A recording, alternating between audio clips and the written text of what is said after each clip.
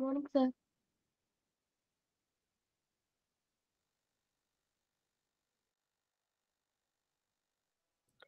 എല്ലാവരും silent prayer എടുത്തോളൂ കേട്ടോ വീഡിയോ ഓൺ ചെയ്തോളൂ.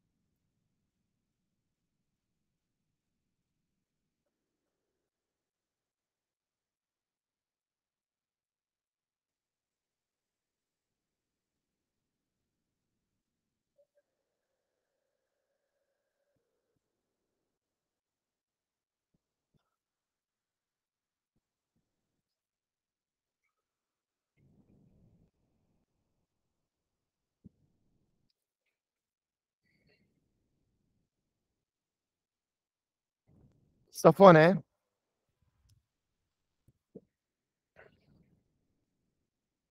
യെസ് Yes, മയോപ്പിയ ഡിഫക്റ്റിന്റെ കാരണം എങ്ങനെ കറക്റ്റ് ചെയ്യാം? ഏത് ലെൻസ് യൂസ് ചെയ്യാം? മയോപ്പിയ ഡിഫക്റ്റിന് കാരണം elongation of eyeball focal length കുറഞ്ഞു പോയി പിന്നെ കോൺകേവ് ലെൻസ് ഉപയോഗിച്ച് അപ്രോപ്രിയറ്റ് പവർ ഉപയോഗിച്ച്. ഷിബിനെ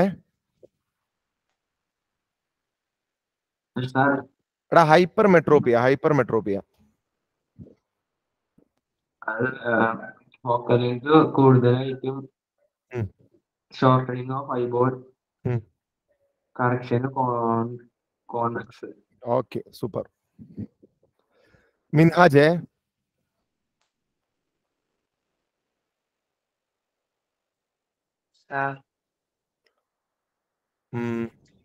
ഡിസ്പേർഷൻ എന്താടാ? Dispersion splitting of light. Okay. Composite light എന്ന് പറയണേ. കാരണം വേറെ ഒരു കളറുള്ള ലൈറ്റ് ആണ് സ്പ്ലിറ്റ് ചെയ്യാൻ പറ്റില്ലല്ലോ. കോമ്പോസിറ്റ് ലൈറ്റ് ഒന്നിൽ കൂടുതൽ കളറുള്ള ലൈറ്റിനെ സ്പ്ലിറ്റ് ചെയ്യുന്നുണ്ട് തീർത്ത് പറഞ്ഞു കേട്ടോ. എക്സാമിന് ചോദിക്കുമ്പോൾ composite light in its component colours എന്നോ അല്ലെങ്കിൽ കോൺസ്റ്റിറ്റ്യൂന്റ് കളേഴ്സ് എന്നോ പറയണം കേട്ടോ. അതിനുള്ളിൽ അടങ്ങിയ കളേഴ്സിനെ അത് സ്പ്ലിറ്റ് ചെയ്യുന്നതിനാണ് ഡിസ്പേർഷൻ എന്ന് പറയുന്നത്. നീമ ഇങ്ങനെ സ്പ്ലിറ്റ് ചെയ്യുന്ന ഓരോ ഓരോ അപ്പൊ വൈറ്റ് ലൈറ്റ് മാത്രമുള്ള ഇപ്പൊ രണ്ട് കളർ. കൂടിയൊരു കളറ് ഇങ്ങനെ പോകുന്ന സ്പ്ലിറ്റ് ആവില്ല നടക്കും നടക്കും സ്പ്ലിറ്റ് ആവും സ്പ്ലിറ്റ് ആവും. ഇപ്പൊ യെല്ലോയും ഓറഞ്ചും അടങ്ങിയ കളർ ഉണ്ടെങ്കിൽ സ്പ്ലിറ്റ് ആവും. ഓക്കെ റെഡും. ബ്ലൂവും ഗ്രീനും സ്പ്ലിറ്റ് ആവൂല. കാരണം ഇവർക്ക് ഒരു പ്രൈമറി കളർ എന്നൊരു പേരുണ്ട്. കാരണം ഇതിനകത്ത് ഈ കളർ മാത്രമേ ഉണ്ടാവുള്ളൂ. Red blue green Neema yes sir ആം, ഈ ഡിസ്പേഷൻ നടക്കുമ്പോഴേ ഈ ഓരോ കളർ സ്പ്ലിറ്റ് ആവുന്നതിന് എന്തെങ്കിലും ഒരു മാനദണ്ഡം ഉണ്ടോ? ഓരോ കളർ ഇങ്ങനെ സ്പ്ലിറ്റ് ആയി വരുന്നതിന് എന്തെങ്കിലും അതോ എല്ലാ കളറും ഒരുപോലെയാണോ സ്പ്ലിറ്റ് ആവുന്നത്? അല്ല ചില? കാരണം വേവ് ലെങ്ത് കൂടുതലായിരിക്കും ചില കാരണം വേവ് ലെങ്ത് കുറവായിരിക്കും. അതുകൊണ്ട് അവർ നന്നായിട്ട് വേവ് ലെങ്ത് കൂടുതലുള്ള കളറാണോ കൂടുതൽ ഡീവിയേറ്റ് ചെയ്യുക? വേവ് ലെങ്ത് കുറവുള്ള കളറാണോ കൂടുതൽ ഡീവിയേറ്റ് ചെയ്യുക? വേവ് ലെങ്ത് കൂടുതലുള്ള കളർ കൂടുതൽ ഡീവിയേറ്റ് ചെയ്യൂല. അധികം ഡീവിയേറ്റ് ചെയ്യൂല. ചെയ്യില്ലെന്നോ? ചെയ്യും. ഡിവേറ്റ് ചെയ്യും. ചെയ്യും. ചെയ്യും. ചെയ്യും ചെയ്യും ചെയ്യും. വേവ് ലെങ്ത് കുറഞ്ഞ കളറല്ലേ ഡീവിയേറ്റ് അ- അങ്ങനെയല്ല നമ്മളെ വേവ് ലെങ്ത് കുറഞ്ഞ കളറിന് ഡീവിയേഷൻ കൂടുതലായിരിക്കും. വേവ് ലെങ്ത് കൂടുതലുള്ള ഡീവിയേഷൻ കുറവായിരിക്കും. ഡീവിയേറ്റ് ചെയ്യില്ല എന്നൊക്കെ പറഞ്ഞത് ചാപ്റ്റർ വേസ്റ്റ് ആയി പോകില്ല ഡീവിയേറ്റ് ചെയ്യില്ലെങ്കിൽ ആ. ഡിവിറ്റി ചെയ്യണോണ്ടല്ലേ ചാപ്റ്റർ ഉള്ളത്? റിഫ്രാക്ഷൻ ആ. ഡിവിറ്റി ചെയ്യില്ല പിന്നെ ചാപ്റ്റർ ഉണ്ടോ? ഓക്കെ. ഡിവേറ്റ് ചെയ്യും. എന്തായാലും ഡിവേറ്റ് ചെയ്യും. പക്ഷെ ഡിവേറ്റ് ചെയ്യുമ്പോ കുറച്ച് ഡിബേറ്റ് ചെയ്യുള്ളൂ. അങ്ങനെ പറഞ്ഞോട്ടോ ഡിബേറ്റ് ചെയ്യില്ല എന്നും പറഞ്ഞേക്കരുതേ ഞാനായിട്ട് ക്ഷമിച്ചു. വേറെ എല്ലാരെങ്കിലും ആരെയാണ് ആ ഓക്കെ അമി. ഏത് കളറിനാ വേവ് ലെങ്ത് കുറവ്? ഏത് കളറിനാ വേവ് ലെങ്ത് കൂടുതൽ വേവ് ലെങ്ത് കൂടുതൽ റെഡിന് വേവ് ലെങ്ത് കുറവാ വയലറ്റിന് വയലറ്റിന് okay Amiya.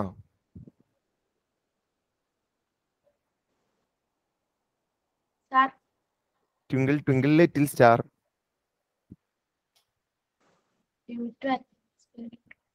okay atmosphere refraction കാരണമാണ് ഇത് ഉണ്ടാവുന്നത് പിന്നെ വേറെ വേറെ എന്തെങ്കിലും എങ്ങനെ ഈ സംഭവം എങ്ങനെയാ? നമ്മൾ കാണുന്നതിനേക്കാൾ കുറച്ച് എന്ത്? അല്ല സ്റ്റാർ ലൈറ്റ് ഇങ്ങനെ വരുവാണ്. കഥ പറ. Star light different lights of atmosphere കൂടെ വരുമ്പോ എന്താ സംഭവിക്കുന്നത് സർക്കിൾ പോലെ ഒരു രീതിയിൽ. അല്ല റിഫ്രാക്ട് ആ ആ അല്ല ചെയ്യുന്നു. ആ ഓക്കെ അങ്ങനെ റിഫ്രാക്ട് ചെയ്ത് വന്നോട്ടെ. അപ്പൊ നമ്മൾ ആ വേറെ പൊസിഷനിൽ സ്റ്റാറിനെ കാണുന്നല്ലോ എന്താ ഈ ട്വിങ്കിൾ ചെയ്യുന്നതിന്റെ കാരണം എന്താ?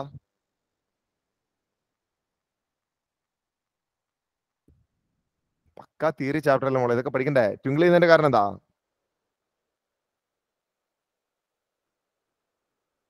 ഈ അമ്മി ഒന്നും അറിയില്ല. എടാ അമ്മിക്ക് ഒന്നും അറിയില്ല. ഫെസിനെ ഒന്ന് പറഞ്ഞു ട്വിങ്കിൾ ചെയ്യുന്നതിന്റെ കാരണം എന്താന്ന്?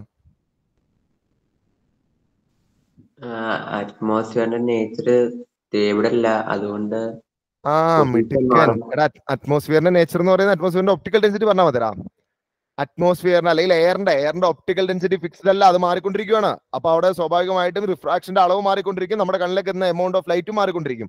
അങ്ങനെ വരുമ്പോൾ നമുക്ക് അത് ട്വിങ്കിൾ ചെയ്യുന്നതായിട്ട് ഫീൽ ചെയ്യും. ഇത്രയും കാര്യങ്ങൾ അവിടെ പറയണം കേട്ടോ. വേറെ റിഫ്രാക്ട് ചെയ്യുന്നു വേറെ പൊസിഷനിൽ വേറെ പൊസിഷനിൽ നിന്നാണ് ലൈറ്റ് വരുന്നത്. ഓക്കെ അതൊക്കെ ഓക്കെ അതൊക്കെ ചേഞ്ച് ഇൻ പൊസിഷനെ എക്സാമ്പിൾ ആവുള്ളൂ.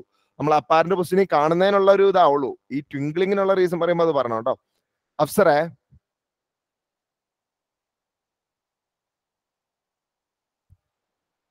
അഫ്സറേ?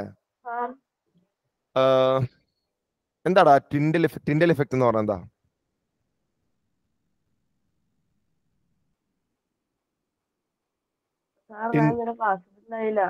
ടിൻഡൽ ഇഫക്റ്റ് പണ്ട് പഠിച്ചാടാ. ഇന്നലെ ഇല്ലായിരുന്നു. ടിൻഡൽ ഇഫക്റ്റ് ഇതപ്പോ എക്സാമിന്റെ തലേന്ന് വന്ന് നിനക്ക് ഇതെല്ലാം പറഞ്ഞതാലാണ് നീ എക്സാമിന് എഴുതുള്ളൂ. ഏ? ഇതൊന്ന് പഠിച്ചു പോയതല്ലേ? എന്താ ടിൻഡൽ? അറിയോ? അറിയില്ല വോയിസ് ഓഫ് ചെയ്തോ ദേ അറിയില്ലേ നമുക്ക്? ഐഹാൻ അറിയാം. ഓക്കെ എനിക്ക് അറിയില്ലാത്തവരെ വേണ്ടേ ജനത്തിനും അറിയാം. ഫഹദ് കൈ പൊക്കുന്നില്ല അവനോട് ചോദിച്ചു നോക്കാം. ഫഹദെ എന്താ Tyndall effect path of the light ഒക്കെ. Okay path of the light visible ആവുന്നതിനെയാണ്. അല്ല അതിന് റീസൺ എന്താ മോനെ? എന്തുകൊണ്ടായിരിക്കും പാത്ത് ഓഫ് ലൈറ്റ് വിസിബിൾ ആവുന്നത് എടാ എന്താണ് ആ ടോപ്പിക്കിന്റെ ആ മെയിൻ ടോപ്പിക് എന്താ അതിനകത്ത്? ടിൻഡൽ ഇഫക്റ്റ് വരുന്ന ഏത് ടോപ്പിക്കിലാ ഏത് ടോപ്പിക്കിന്റെ താഴെ? നമ്മൾ മൂന്നായിട്ടാണ് ടോപ്പിക്കിനെ ഡിവൈഡ് ചെയ്യുന്നത് ഒന്ന് ഡിസ്പേർഷൻ രണ്ട് അറ്റ്മോസ്ഫിയറിക് റിഫ്രാക്ഷൻ മൂന്ന് സ്കാറ്ററിംഗ് സ്കാറ്ററിംഗ് കാരണമാണ് ടിൻഡിൽ ഇഫക്റ്റ് ഉണ്ടാവുന്നത് ഇനി ആരെ സ്കാറ്റർ ചെയ്യുന്നതെന്ന് അറിയോ ടിൻഡിൽ എഫക്റ്റിന് കാരണം എന്ത് പാർട്ടിക്കിൾ സ്കാറ്റർ ചെയ്യുന്നതിന് ആ പാർട്ടിക്കിൾ ഒരു പേര് വിളിക്കുക അതിന്റെ സൈസ് വെച്ചിട്ട്. ടൈനി പാർട്ടിക്കിൾ ടൈനി അല്ല ടൈനി എന്ന് പറയുമ്പോൾ വളരെ ചെറുതെല്ലാം പെടൂലടാ. എന്നെ അതിന്റെ ആ ഒരു പ്രത്യേക റേഞ്ചിലുള്ള പാർട്ടിക്കിൾ ഒരു പേര് വിളിക്കും. അല്ലെന്ന്. വേറെ വേറെ ഒന്നുകൂടെ ആലോചിച്ച് നോക്ക്. ഒന്ന് റീകളക്ട് ചെയ്ത് നോക്ക് റീകളക്ട് ചെയ്ത് നോക്ക്.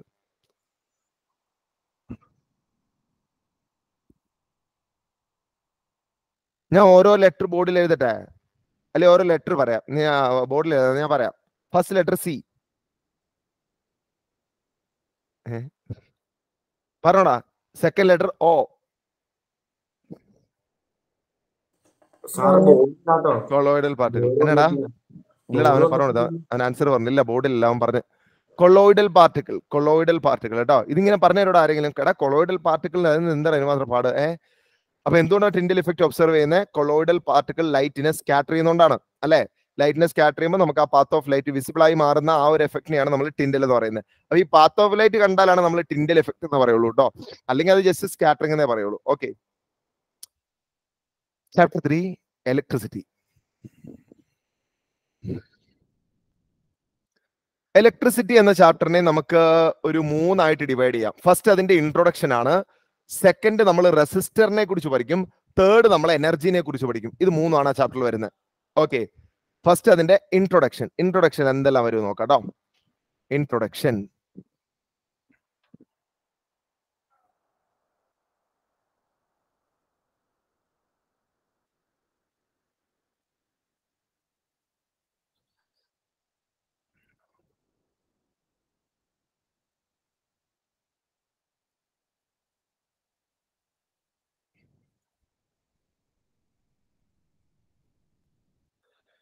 ഇൻട്രൊഡക്ഷനിൽ നമ്മൾ അറിഞ്ഞിരിക്കേണ്ടത് ആദ്യം എന്താണ് കറണ്ട് എന്ന് അറിഞ്ഞിരിക്കണം അല്ലെ കറണ്ടിനെ ഡിഫൈൻ ചെയ്യാൻ അറിഞ്ഞിരിക്കണം. കറണ്ട് അടുത്തത് വോൾട്ടേജ് വോൾട്ടേജ് എന്താണെന്ന് അറിഞ്ഞിരിക്കണം.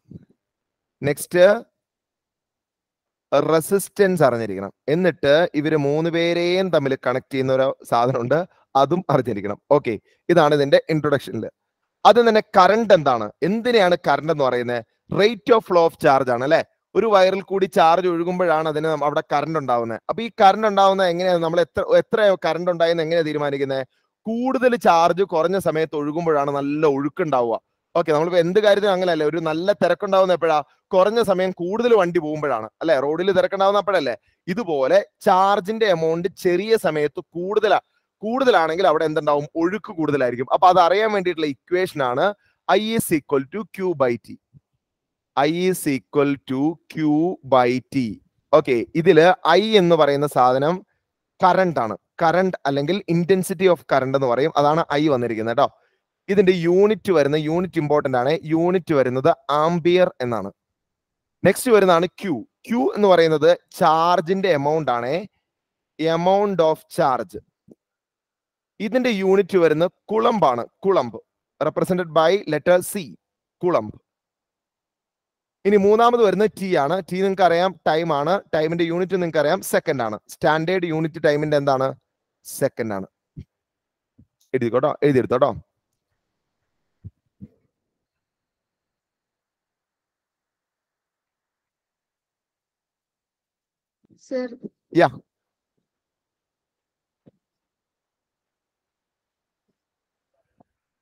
Yep. പറഞ്ഞോളൂ പറഞ്ഞോളൂ.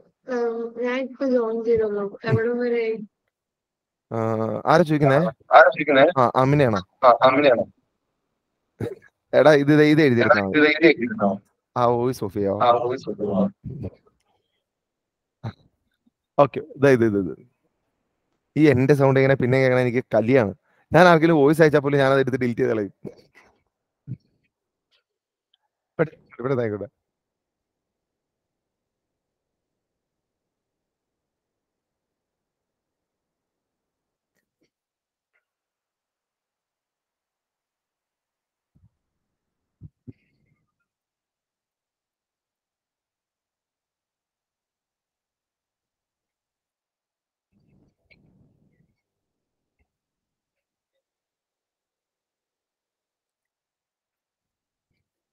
അല്ലെ? നമ്മൾ ഒരു ദിവസം രാവിലെ എണീറ്റ് വൈകിട്ട് വരെ നമ്മൾ ഏറ്റവും കൂടുതൽ കേൾക്കുന്നത് നമ്മുടെ സൗണ്ട് തന്നെയാണല്ലേ? അല്ലേ? അപ്പൊ നല്ലത് മാത്രം സംസാരിക്കുക കേട്ടോ. ഫിലോസഫിയാണ് വേണ്ട. ഓക്കെ പറയട്ടെ. പറയട്ടെ. അപ്പൊ അടുത്ത വോൾട്ടേജ് ആണേ. അടുത്ത വോൾട്ടേജ്. ഓക്കെ അപ്പൊ വോൾട്ടേജ് കാണാനുള്ള formula V is equal to W by Q ആണ് കേട്ടോ. V is equal to W by Q ഡബ്ല്യുവിന് നമ്മൾ വർക്ക് ഡൺ എന്നാണ് പറയുന്നത് അവിടെ എനർജി എന്ന് പറഞ്ഞാൽ കുഴപ്പമില്ല. ഓക്കെ കാരണം ചെയ്യുന്ന വർക്കാണ് എനർജി ഓക്കെ അപ്പൊ എനർജി എനർജി ആയിട്ട് സ്റ്റോർ ചെയ്യുന്നത് ചെയ്യുന്ന വർക്ക് എന്നാണ് നമ്മൾ പഠിച്ചിരിക്കുന്നത്. അപ്പൊ വർക്കിന് പകരം എനർജി എന്ന് പറഞ്ഞാലും ടേം കറക്റ്റ് ആണ്. കുഴപ്പമില്ല. Work or energy divided by Q എന്ന് പറയാം. ഓക്കെ അപ്പൊ ഇതിനകത്ത് ഇ ആണെങ്കിൽ ഏതാണെങ്കിലും കേട്ടോ. ഡബ്ല്യു ആണെങ്കിൽ ഡബ്ല്യു വി ഇ ആണെങ്കിൽ ഇ വർക്ക് ഡൺ ആണ്. വർക്ക് ഡൺ ഇ ആണെങ്കിൽ അവിടെ നമ്മൾ എനർജി എന്ന് പറയും. എനർജി ഇതിന് രണ്ടിനും കോമൺ ആയിട്ട് വരുന്ന യൂണിറ്റ് ആണ് joule joule. Okay work done ആണെങ്കിലും എനർജി ആണെങ്കിലും നമ്മൾ അവിടെ യൂസ് ചെയ്യുന്ന യൂണിറ്റ് ജൂൾ ആയിരിക്കും. J for joule. അടുത്തത് വരുന്നത് ക്യൂ ആണ്. ക്യൂ നമ്മൾ വി നമുക്കറിയാം. വി വോൾട്ടേജ് ആണ്. വോൾട്ടേജ് ഓക്കെ ഈ വോൾട്ടേജിന്റെ യൂണിറ്റ് വരുന്നത് വി ആണ്. ഈ വോൾട്ടേജിന്റെ യൂണിറ്റും വി ആണ് വോൾട്ടേജ് റെപ്രസെന്റ് ചെയ്യുന്ന ലെറ്ററും വി ആണ്. അടുത്ത വരുന്നത് ക്യൂ ആണ്. ക്യൂ നമ്മൾ ഓൾറെഡി പഠിച്ചാണ്. Amount of charge amount of charge amount of charge amount of ചാർജിനെ നമ്മൾ റെപ്രസെന്റ് ചെയ്യുന്ന ലെറ്റർ ക്യൂ ആണ്. അതിന്റെ യൂണിറ്റ് ഓൾറെഡി നമ്മൾ പഠിച്ചാണ്. കുളമ്പ്. ഇത്രയാണ് നമുക്ക് വോൾട്ടേജിനെ കുറിച്ച് പറയാനുള്ളത്. ഇനി മൂന്നാമത്തെ ടേമാണ് റെസിസ്റ്റൻസ്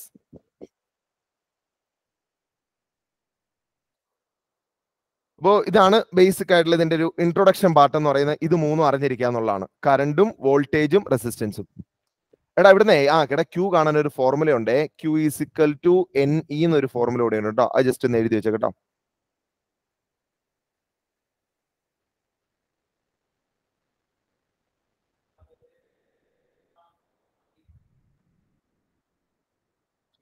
അടുത്ത റെസിസ്റ്റൻസ് ആണേ. റെസിസ്റ്റൻസ് കാണാനുള്ള ഫോർമുല. ഓൾറെഡി വേണമെങ്കിൽ ഓംസ് ലോയിൽ നിന്ന് ഇതെല്ലാം അങ്ങോട്ട് ഇങ്ങനെ കണ്ടുപിടിക്കാം. പക്ഷെ അതല്ല നമ്മൾ വേറെ ഇരിക്കുക കാരണം ഓംസ് ലോ ഓൾറെഡി നമ്മൾ ഡിസ്കസ് ചെയ്യുന്നുണ്ട്. പറയടാ. N number number of electron number of electron മറ്റേ ഓരോ ഇലക്ട്രോണിന്റെ ചാർജ് ഓക്കെ അതായിരിക്കും അവിടുത്തെ ടോട്ടൽ ചാർജ് എന്ന് പറയുന്നത്. ഓരോ ഇലക്ട്രോണിന്റെ charge into number of electron okay ഇനി കണ്ടോട്ടോ പിള്ളേരെ. റെസിസ്റ്റൻസ് ഇനി റെസിസ്റ്റൻസ് കാണാനുള്ള formula R is equal to the ഓംസിലോ വെച്ചിട്ടുള്ള അല്ല ഈ പറയുന്നത് ഓംസിലോ ഇല്ലാത്താണ് കാരണം ഓംസിലോ ഓൾറെഡി നമ്മൾ താഴെ പറയുന്നുണ്ട്. R is equal to rho into L by A എന്നൊരു ഫോർമുല ഉണ്ട്. R is equal to rho into L by A അവിടുന്ന് മനസ്സിലാക്കേണ്ട വേറൊരു കാര്യം കൂടി ഉണ്ട്. റെസിസ്റ്റൻസ് ഡിപ്പെൻഡ് ചെയ്യുന്ന നാല് ഫാക്ടറുകൾ മനസ്സിലാക്കി വെക്കുക കേട്ടോ. ഓക്കെ ഇവിടെ പറയുന്നത് എൽ എൽ എന്ന് പറയുന്നത് എന്താണ്? ലെങ്ത് ആണ് ഉദ്ദേശിക്കുന്നത്. എൽ ഈസ് ലെങ്ത് ഓക്കെ നമ്മൾ യൂണിറ്റ് എടുക്കുന്നത് മീറ്റർ അടുത്ത് ഏരിയ അല്ലെ? ഏരിയയുടെ യൂണിറ്റ് ഏരിയ ഏരിയയുടെ യൂണിറ്റ് എടുക്കുന്ന ഏരിയയുടെ യൂണിറ്റ് മീറ്റർ സ്ക്വയർ അതുപോലെ area of cross section area of cross section കൊടുക്കണം കേട്ടോ. ആ ക്രോസ് സെക്ഷന്റെ ഏരിയ ആണ്. ഒരു വയറിന്റെ ഏരിയ ഓഫ് ക്രോസ് സെക്ഷൻ കാണാനുള്ള ഫോർമുലയും നിങ്ങൾ ഇതിന്റെ കൂടെ അങ്ങ് എഴുതി വെച്ചോട്ടോ area of cross section of a wire area of cross section എന്ന് പറഞ്ഞാൽ ഞാൻ ഈ ഷെയ്ഡ് ചെയ്യുന്ന പാർട്ടിന്റെ ഏരിയ ആണ് കണ്ടോ? ഫുൾ ഏരിയ അല്ല അവിടെ ഉദ്ദേശിക്കുന്നത്. ക്രോസ് സെക്ഷനിലെ ഏരിയ എന്ന് പറഞ്ഞാൽ ഞാൻ ആ കളർ അടിച്ചിരിക്കുന്ന പാർട്ടാണ് കണ്ടോ? ഈ ഏരിയ ആണ് ഇതിനകത്ത് വരുന്നത്. ഈ ഏരിയ ഓഫ് ക്രോസ് സെക്ഷൻ കാണാൻ ഒരു ഫോർമുല ഉണ്ടല്ലോ പിള്ളേരെ. എന്തായിരുന്നു ഫോർമുല ഒന്നാൽ ഈ പൈ ആർ സ്ക്വയർ എടുക്കാം അല്ലെങ്കിൽ pi D square by four എടുക്കാം. നമ്മൾ ഏതെടുത്താ ചെയ്തേ? നമ്മൾ എളുപ്പമാണെന്ന് പറഞ്ഞ ഏതോ ഒരു ഫോർമുല എടുത്തില്ലായിരുന്നോ? എടാ ഒരു സെക്കൻഡേ എടാ ഒരു പ്രധാനപ്പെട്ട കാര്യം. നിങ്ങൾക്ക് ഇന്ന് വൈകിട്ട് ഒൻപത് മണി മുതൽ ഒൻപതര വരെ നിങ്ങൾ അറിഞ്ഞു കാണും പേരൻസ് മീറ്റിംഗ് ഉണ്ടാവും കേട്ടോ അപ്പോൾ പേരൻസിനോട് എല്ലാവരുടെ പേരൻസിനോട് നിർബന്ധമായിട്ടും പാർട്ടിസിപ്പേറ്റ് ചെയ്യാൻ പറയണേ. കാരണം നമുക്ക് റിവിഷന്റെ കാര്യങ്ങളൊക്കെ സംസാരിക്കാനുള്ളതാണ്. കേട്ടോ?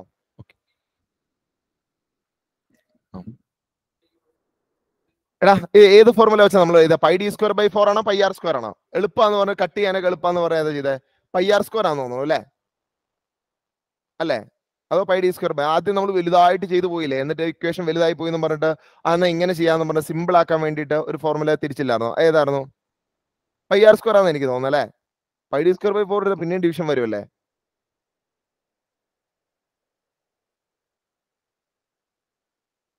ഏതിട്ട് ചെയ്തേ? ഓർക്കണ്ടാ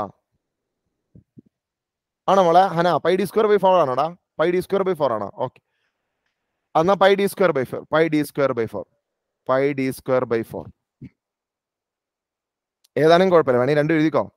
Pi D square by four എന്നിട്ടാലും കുഴപ്പമില്ല. അന്നേരം ഡയമീറ്റർ കൊടുക്കണം എന്നുള്ളൂ പൈ ആർ സ്ക്വയർ ആണെങ്കിൽ നമ്മൾ അത് കണ്ടുപിടിക്കണം എന്നുള്ളൂ ഓക്കെ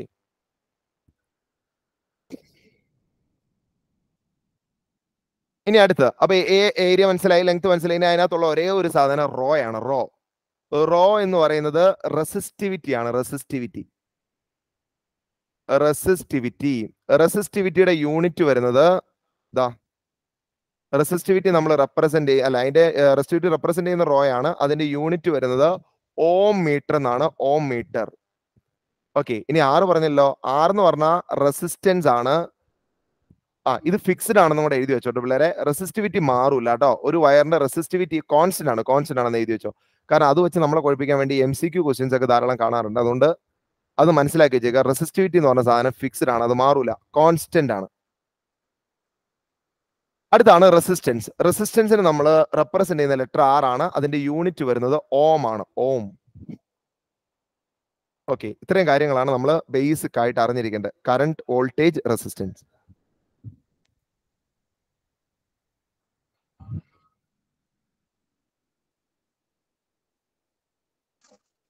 ഒക്കെ മുകളിൽ പോലെ കാണിക്കും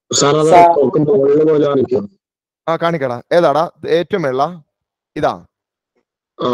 ഓക്കെ. എഴുതി എഴുതി പറയടാ പറയടാ. എടാ വേറെ ആളും വോയിസ് ഓൺ ചെയ്തല്ലോ. എടാ പറയടാ പറ. സാർ റെസിസ്റ്റൻസും റെസിസ്റ്റൻസും തമ്മിലുള്ള വ്യത്യാസം എന്താ? എടാ റെസിസ്റ്റൻസ് എന്ന് പറയുമ്പോഴേ നമ്മൾ അതിനൊരു ലെങ്തോ ഏരിയ ഒന്നും ഇല്ല. നമുക്ക് ഏത് വയറിനെ റെസിസ്റ്റൻസ് കണ്ടുപിടിക്കാന്ന് പറഞ്ഞാൽ അതിന് ഇഷ്ടമുള്ള ലെങ്ത് എടുക്കുക ഇഷ്ടമുള്ള ഏരിയ എടുക്കുക പക്ഷെ അങ്ങനെ വന്നു കഴിഞ്ഞാൽ നമുക്ക് കമ്പയർ ചെയ്യാൻ പറ്റില്ലടാ.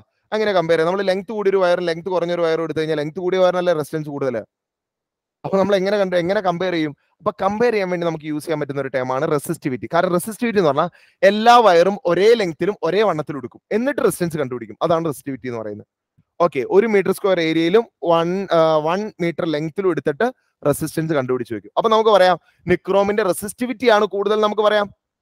പക്ഷെ ഒരിക്കലും നിക്രോമിന്റെ റെസിസ്റ്റൻസ് കൂടുതലാണെന്ന് പറയാൻ പറ്റില്ല. കാരണം കോപ്പർ വയറിന്റെ ലെങ്ത് കൂടുതലാണെങ്കിലോ? അതാണ് കുഴപ്പം. അതാണ് വ്യത്യാസം വരുന്നത്. കേട്ടോ?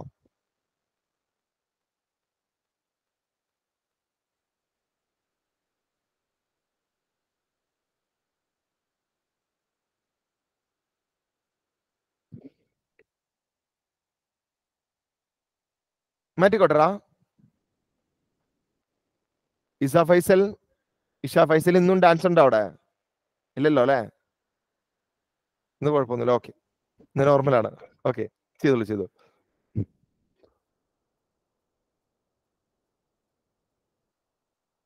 പറയട്ടെടാ. അടുത്ത പറയട്ടെ. ഓക്കെ എടാ ഇനി എന്റെ താഴെ. ഇനി ഇവരെല്ലാരെയും കണക്ട് ചെയ്യുന്ന ഒരു ലോ ഉണ്ട്. ആ ലോയുടെ പേരാണ് ഓംസ് ലോ അതായത് വോൾട്ടേജും റെസിസ്റ്റൻസും കറണ്ടും തമ്മിൽ കണക്ട് വെരി ഇമ്പോർട്ടന്റ് ആണ് കേട്ടോ. ഓക്കെ കാരണം ഈ സാധനം നമ്മൾ എന്തായാലും നമ്മുടെ ക്വസ്റ്റ്യൻ പേപ്പറിൽ ഒരു ആൻസർ ഷീറ്റിൽ ഒരു തവണയെങ്കിലും ചെയ്യേണ്ട വരും എന്നാണ് എന്റെ വിശ്വാസം. Okay Ohm's law V is equal to I into R എവിടെയെങ്കിലും ചെയ്യേണ്ട വരും. വി ഇസ് കാരണം സീരീസിന്റെ പ്രോബ്ലം ചോദിച്ചാലും ചെയ്യേണ്ട വരും പാരലിന്റെ പ്രോബ്ലം ചോദിച്ചാലും ചെയ്യേണ്ട വരും. V is equal to I into R Ohm's law voltage is directly proportional to current ഇനി ഇതിൽ നിന്ന് ചോദിക്കാൻ പറ്റുന്ന രണ്ട് ഇക്വേഷൻ ഉണ്ടല്ലേ? അത് ഏതൊക്കെയായിരുന്നു? ദാ ഒന്നല്ലെങ്കിൽ നമ്മളോട് വി കാണാൻ ചോദിക്കാൻ പിള്ളേരെ അല്ലെ? ഒന്നല്ലെങ്കിൽ വി കാണാൻ ചോദിക്കാം. വി കാണാനാണ് പറയുന്നതെങ്കിൽ വി സോറി സോറി അതല്ലേ ചോദിച്ചേക്കുന്നത്. നമ്മളോട് വി കാണാൻ നമ്മളോട് ഐ കാണാനായിട്ട് അവർ ക്വസ്റ്റ്യനിൽ ചോദിക്കും. ഓക്കെ ഐ കാണാനാണ് ചോദിക്കുന്നതെങ്കിൽ നമ്മൾ എന്തെടുക്കുക? I is equal to V by R I is equal to V by R ഇത് മാറി പോവാണ്ടിരിക്കാൻ പ്രത്യേകം ശ്രദ്ധിക്കുക കേട്ടോ. ഇനി ആറ് ചോദിക്കാൻ ചാൻസ് ഒക്കെ വളരെ കുറവാണ്. എന്നാൽ ഇക്വേഷൻ എഴുതി വെച്ചോ. R is equal to V by I എന്നാണ് വരിക. ഇനി ഇത് പഠിക്കാൻ വേണ്ടിയിട്ട് ചെറിയ ഉടായ്പ മെത്തേഡുകളൊക്കെ വേറെ കുറെ ഒക്കെ ഉണ്ട് അതൊക്കെ ഈ ചില പൊട്ട പിള്ളേർക്ക് പറഞ്ഞു കൊടുക്കുന്ന മെത്തേഡാണ് നിങ്ങൾക്ക് വേണ്ടല്ലോ? എന്നാൽ ഞാൻ ജസ്റ്റ് നിങ്ങൾക്ക് ചുമ്മാ ഒന്ന് പറഞ്ഞുതരാം കേട്ടോ. ഓക്കെ നിങ്ങൾ ചുമ്മാ കണ്ടാൽ മതി. അതായത് വി മേളിൽ എഴുതേ വി മേളിൽ എഴുതും എന്നിട്ട് ഐ ആർ താഴെ എഴുതും. എന്നിട്ട് ഏതാണ് കണ്ടുപിടിക്കേണ്ടത്? അത് മറച്ചു പിടിക്കും. വി കണ്ടുപിടിക്കണമെങ്കിൽ വി മറച്ചു പിടിക്കും. ഐ ഇന്റു ആർ ഐ കണ്ടുപിടിക്കണമെങ്കിൽ ഐ മറച്ചു പിടിക്കും. വി ബൈ ആർ ആറ് കണ്ടുപിടിക്കണമെങ്കിൽ ആറ് പിടിക്കും V by I okay this method is called ഉഡായ്പ് method എല്ലാവർക്കും വേണമെന്നില്ല. കേട്ടോ? ഓക്കെ ഇതിങ്ങനെയൊന്നും അല്ല പഠിക്കേണ്ട ശരിക്കും അങ്ങനെ അങ്ങോട്ട് കൂടെ ഒക്കെ മാറ്റി പഠിക്കേണ്ടതാണ്. വെറുതെ വേണമെങ്കിൽ എഴുതി വെക്കണമെങ്കിൽ എഴുതി വെക്കാം. അത്രേ ഉള്ളൂ. ഓക്കെ ഇത്രയാണ് ഇതിന്റെ ഇൻട്രൊഡക്ഷൻ പാർട്ട് വരുന്നത്. ഇനി അടുത്ത സെക്ഷൻ എന്ന് പറയുന്നത് കോമ്പിനേഷൻ ഓഫ് റെസിസ്റ്റർ ആണ്. റെസിസ്റ്റർ കമ്പൈൻ ചെയ്യുന്നതാണ് അടുത്ത് കോമ്പിനേഷൻ ഓഫ് റെസിസ്റ്റൻസ് റെസിസ്റ്റർ റെസിസ്റ്ററുകളെ എങ്ങനെ കോമ്പിനേഷൻ ഓഫ് റെസിസ്റ്റർ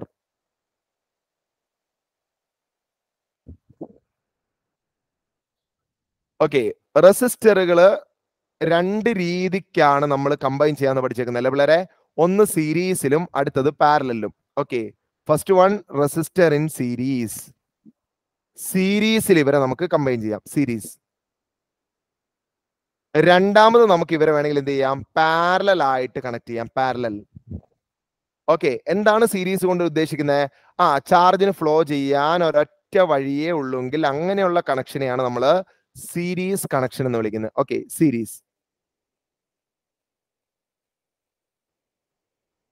ഇനി ചാർജിന് ഫ്ലോ ചെയ്യാൻ ഒന്നിൽ കൂടുതൽ വഴികൾ അവിടെ കൊടുത്തിട്ടുണ്ടെങ്കിൽ അങ്ങനെയുള്ള കണക്ഷനെയാണ് നമ്മൾ പാരലൽ എന്ന് വിളിക്കുന്നത്.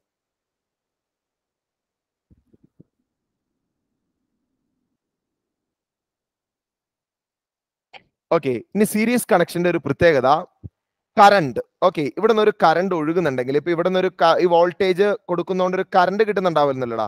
ഓക്കെ ഈ കറണ്ട് സെയിം ആയിരിക്കും വോൾട്ടേജിന് ഡിവൈഡഡ് ആയിരിക്കും. അത് പ്രത്യേക ഓർത്തോളെ കഴിഞ്ഞ ബൈ വീക്ക്ലി എക്സാമിന് ഒരുപാട് പേർക്ക് ഈ സംഭവം തെറ്റിപ്പോയിട്ടുണ്ട്. ഒത്തിരി പേർക്ക് നമ്മൾ പ്രതീക്ഷിക്കുന്നതിൽ കൂടുതൽ പേര് ഇത് അങ്ങോട്ടും ഇങ്ങോട്ടും മാറിപ്പോയിട്ടുണ്ട്. എടാ സീരീസിൽ നമ്മൾ പറയുമ്പോൾ പറയും സീരീസിൽ വോൾട്ടേജ് സെയിം ആ പ്രോബ്ലം ചെയ്യുമ്പോൾ ചെയ്യില്ല. സീരീസിൽ വോൾട്ടേജ് സെയിം ആണെന്ന് പറയും അല്ല സോറി സീരീസിൽ വോൾട്ടേജ് ഡിഫറന്റ് ആണെന്ന് പറയും പ്രോബ്ലം ചെയ്യുമ്പോൾ തെറ്റിക്കും. ഓക്കെ ഒരു കാരണവശാലും ഈ കൊടുക്കുന്ന വോൾട്ടേജ് ഇവിടെ ഇട്ട് കൊടുക്കരുത്. കേട്ടോ ഞാൻ വീണ്ടും പറയുന്നു. നമ്മൾ ഇവിടെ ഒരു വോൾട്ടേജ് ഇവിടെ ഉണ്ടെങ്കിൽ ഈ വോൾട്ടേജ് അല്ല പിള്ളേരെ ഇവിടെ ഇട്ട് കൊടുക്കേണ്ടത്. അത് രണ്ടും ഡിവൈഡഡ് ആണ്. ഇത് ഇങ്ങോട്ട് വരുമ്പോ എന്തായി? V one V one okay ഇങ്ങോട്ട് കിട്ടുന്ന വോൾട്ടേജ് വി ടു ഓക്കെ അത് പ്രത്യേകം ഓർക്കുക കേട്ടോ. അപ്പൊ സീരീസ് കണക്ഷന്റെ പ്രത്യേകതകൾ എഴുതിക്കോ. ഒന്ന് സിംഗിൾ പാത്ത് ഒരൊറ്റ വഴിയെ ചാർജിന് ഫ്ലോ ചെയ്യാൻ ഉണ്ടാവുള്ളൂ രണ്ടാമത് പ്രത്യേകം ഓർത്തോളൂ ആ വോൾട്ടേജ് ഡിവൈഡ് ചെയ്യപ്പെടണം. ഒരേ വോൾട്ട് കാരണം പ്രോബ്ലം കിട്ടി കഴിയുമ്പോൾ നമ്മളൊരു വോൾട്ടേജ് തരും. ഫസ്റ്റ് റെസിന്റെ വോൾട്ടേജ് ചോദിച്ചാൽ നമ്മൾ നേരെ പോയിട്ട് ആ വോൾട്ടേജ് ഇട്ട് കൊടുക്കുന്നത് മിക്കവരും അതായിട്ട് കൊടുക്കുന്നത് കൊടുക്കരുത് കേട്ടോ വോൾട്ടേജ് ഡിവൈഡഡ് ആണ്. Voltage divided okay next current current same ആയിരിക്കും. കറണ്ടിന് കുഴപ്പമില്ല. ഓക്കെ കറണ്ട് സെയിം ആയിരിക്കും. വോൾട്ടേജ് അവിടെ ഡിവൈഡഡ് ആയിരിക്കും.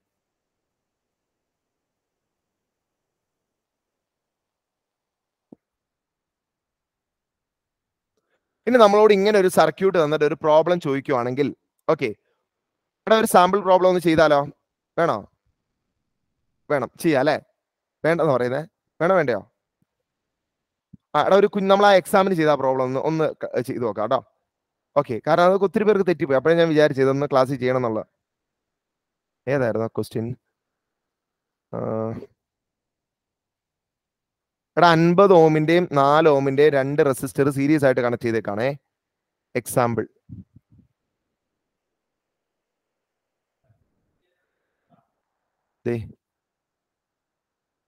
അൻപത് ഓമിന്റെയും നാല് ഓമിന്റെയും രണ്ട് റെസിസ്റ്റർ സീരീസ് ആയിട്ട് കണക്ട് ചെയ്തേക്കാം.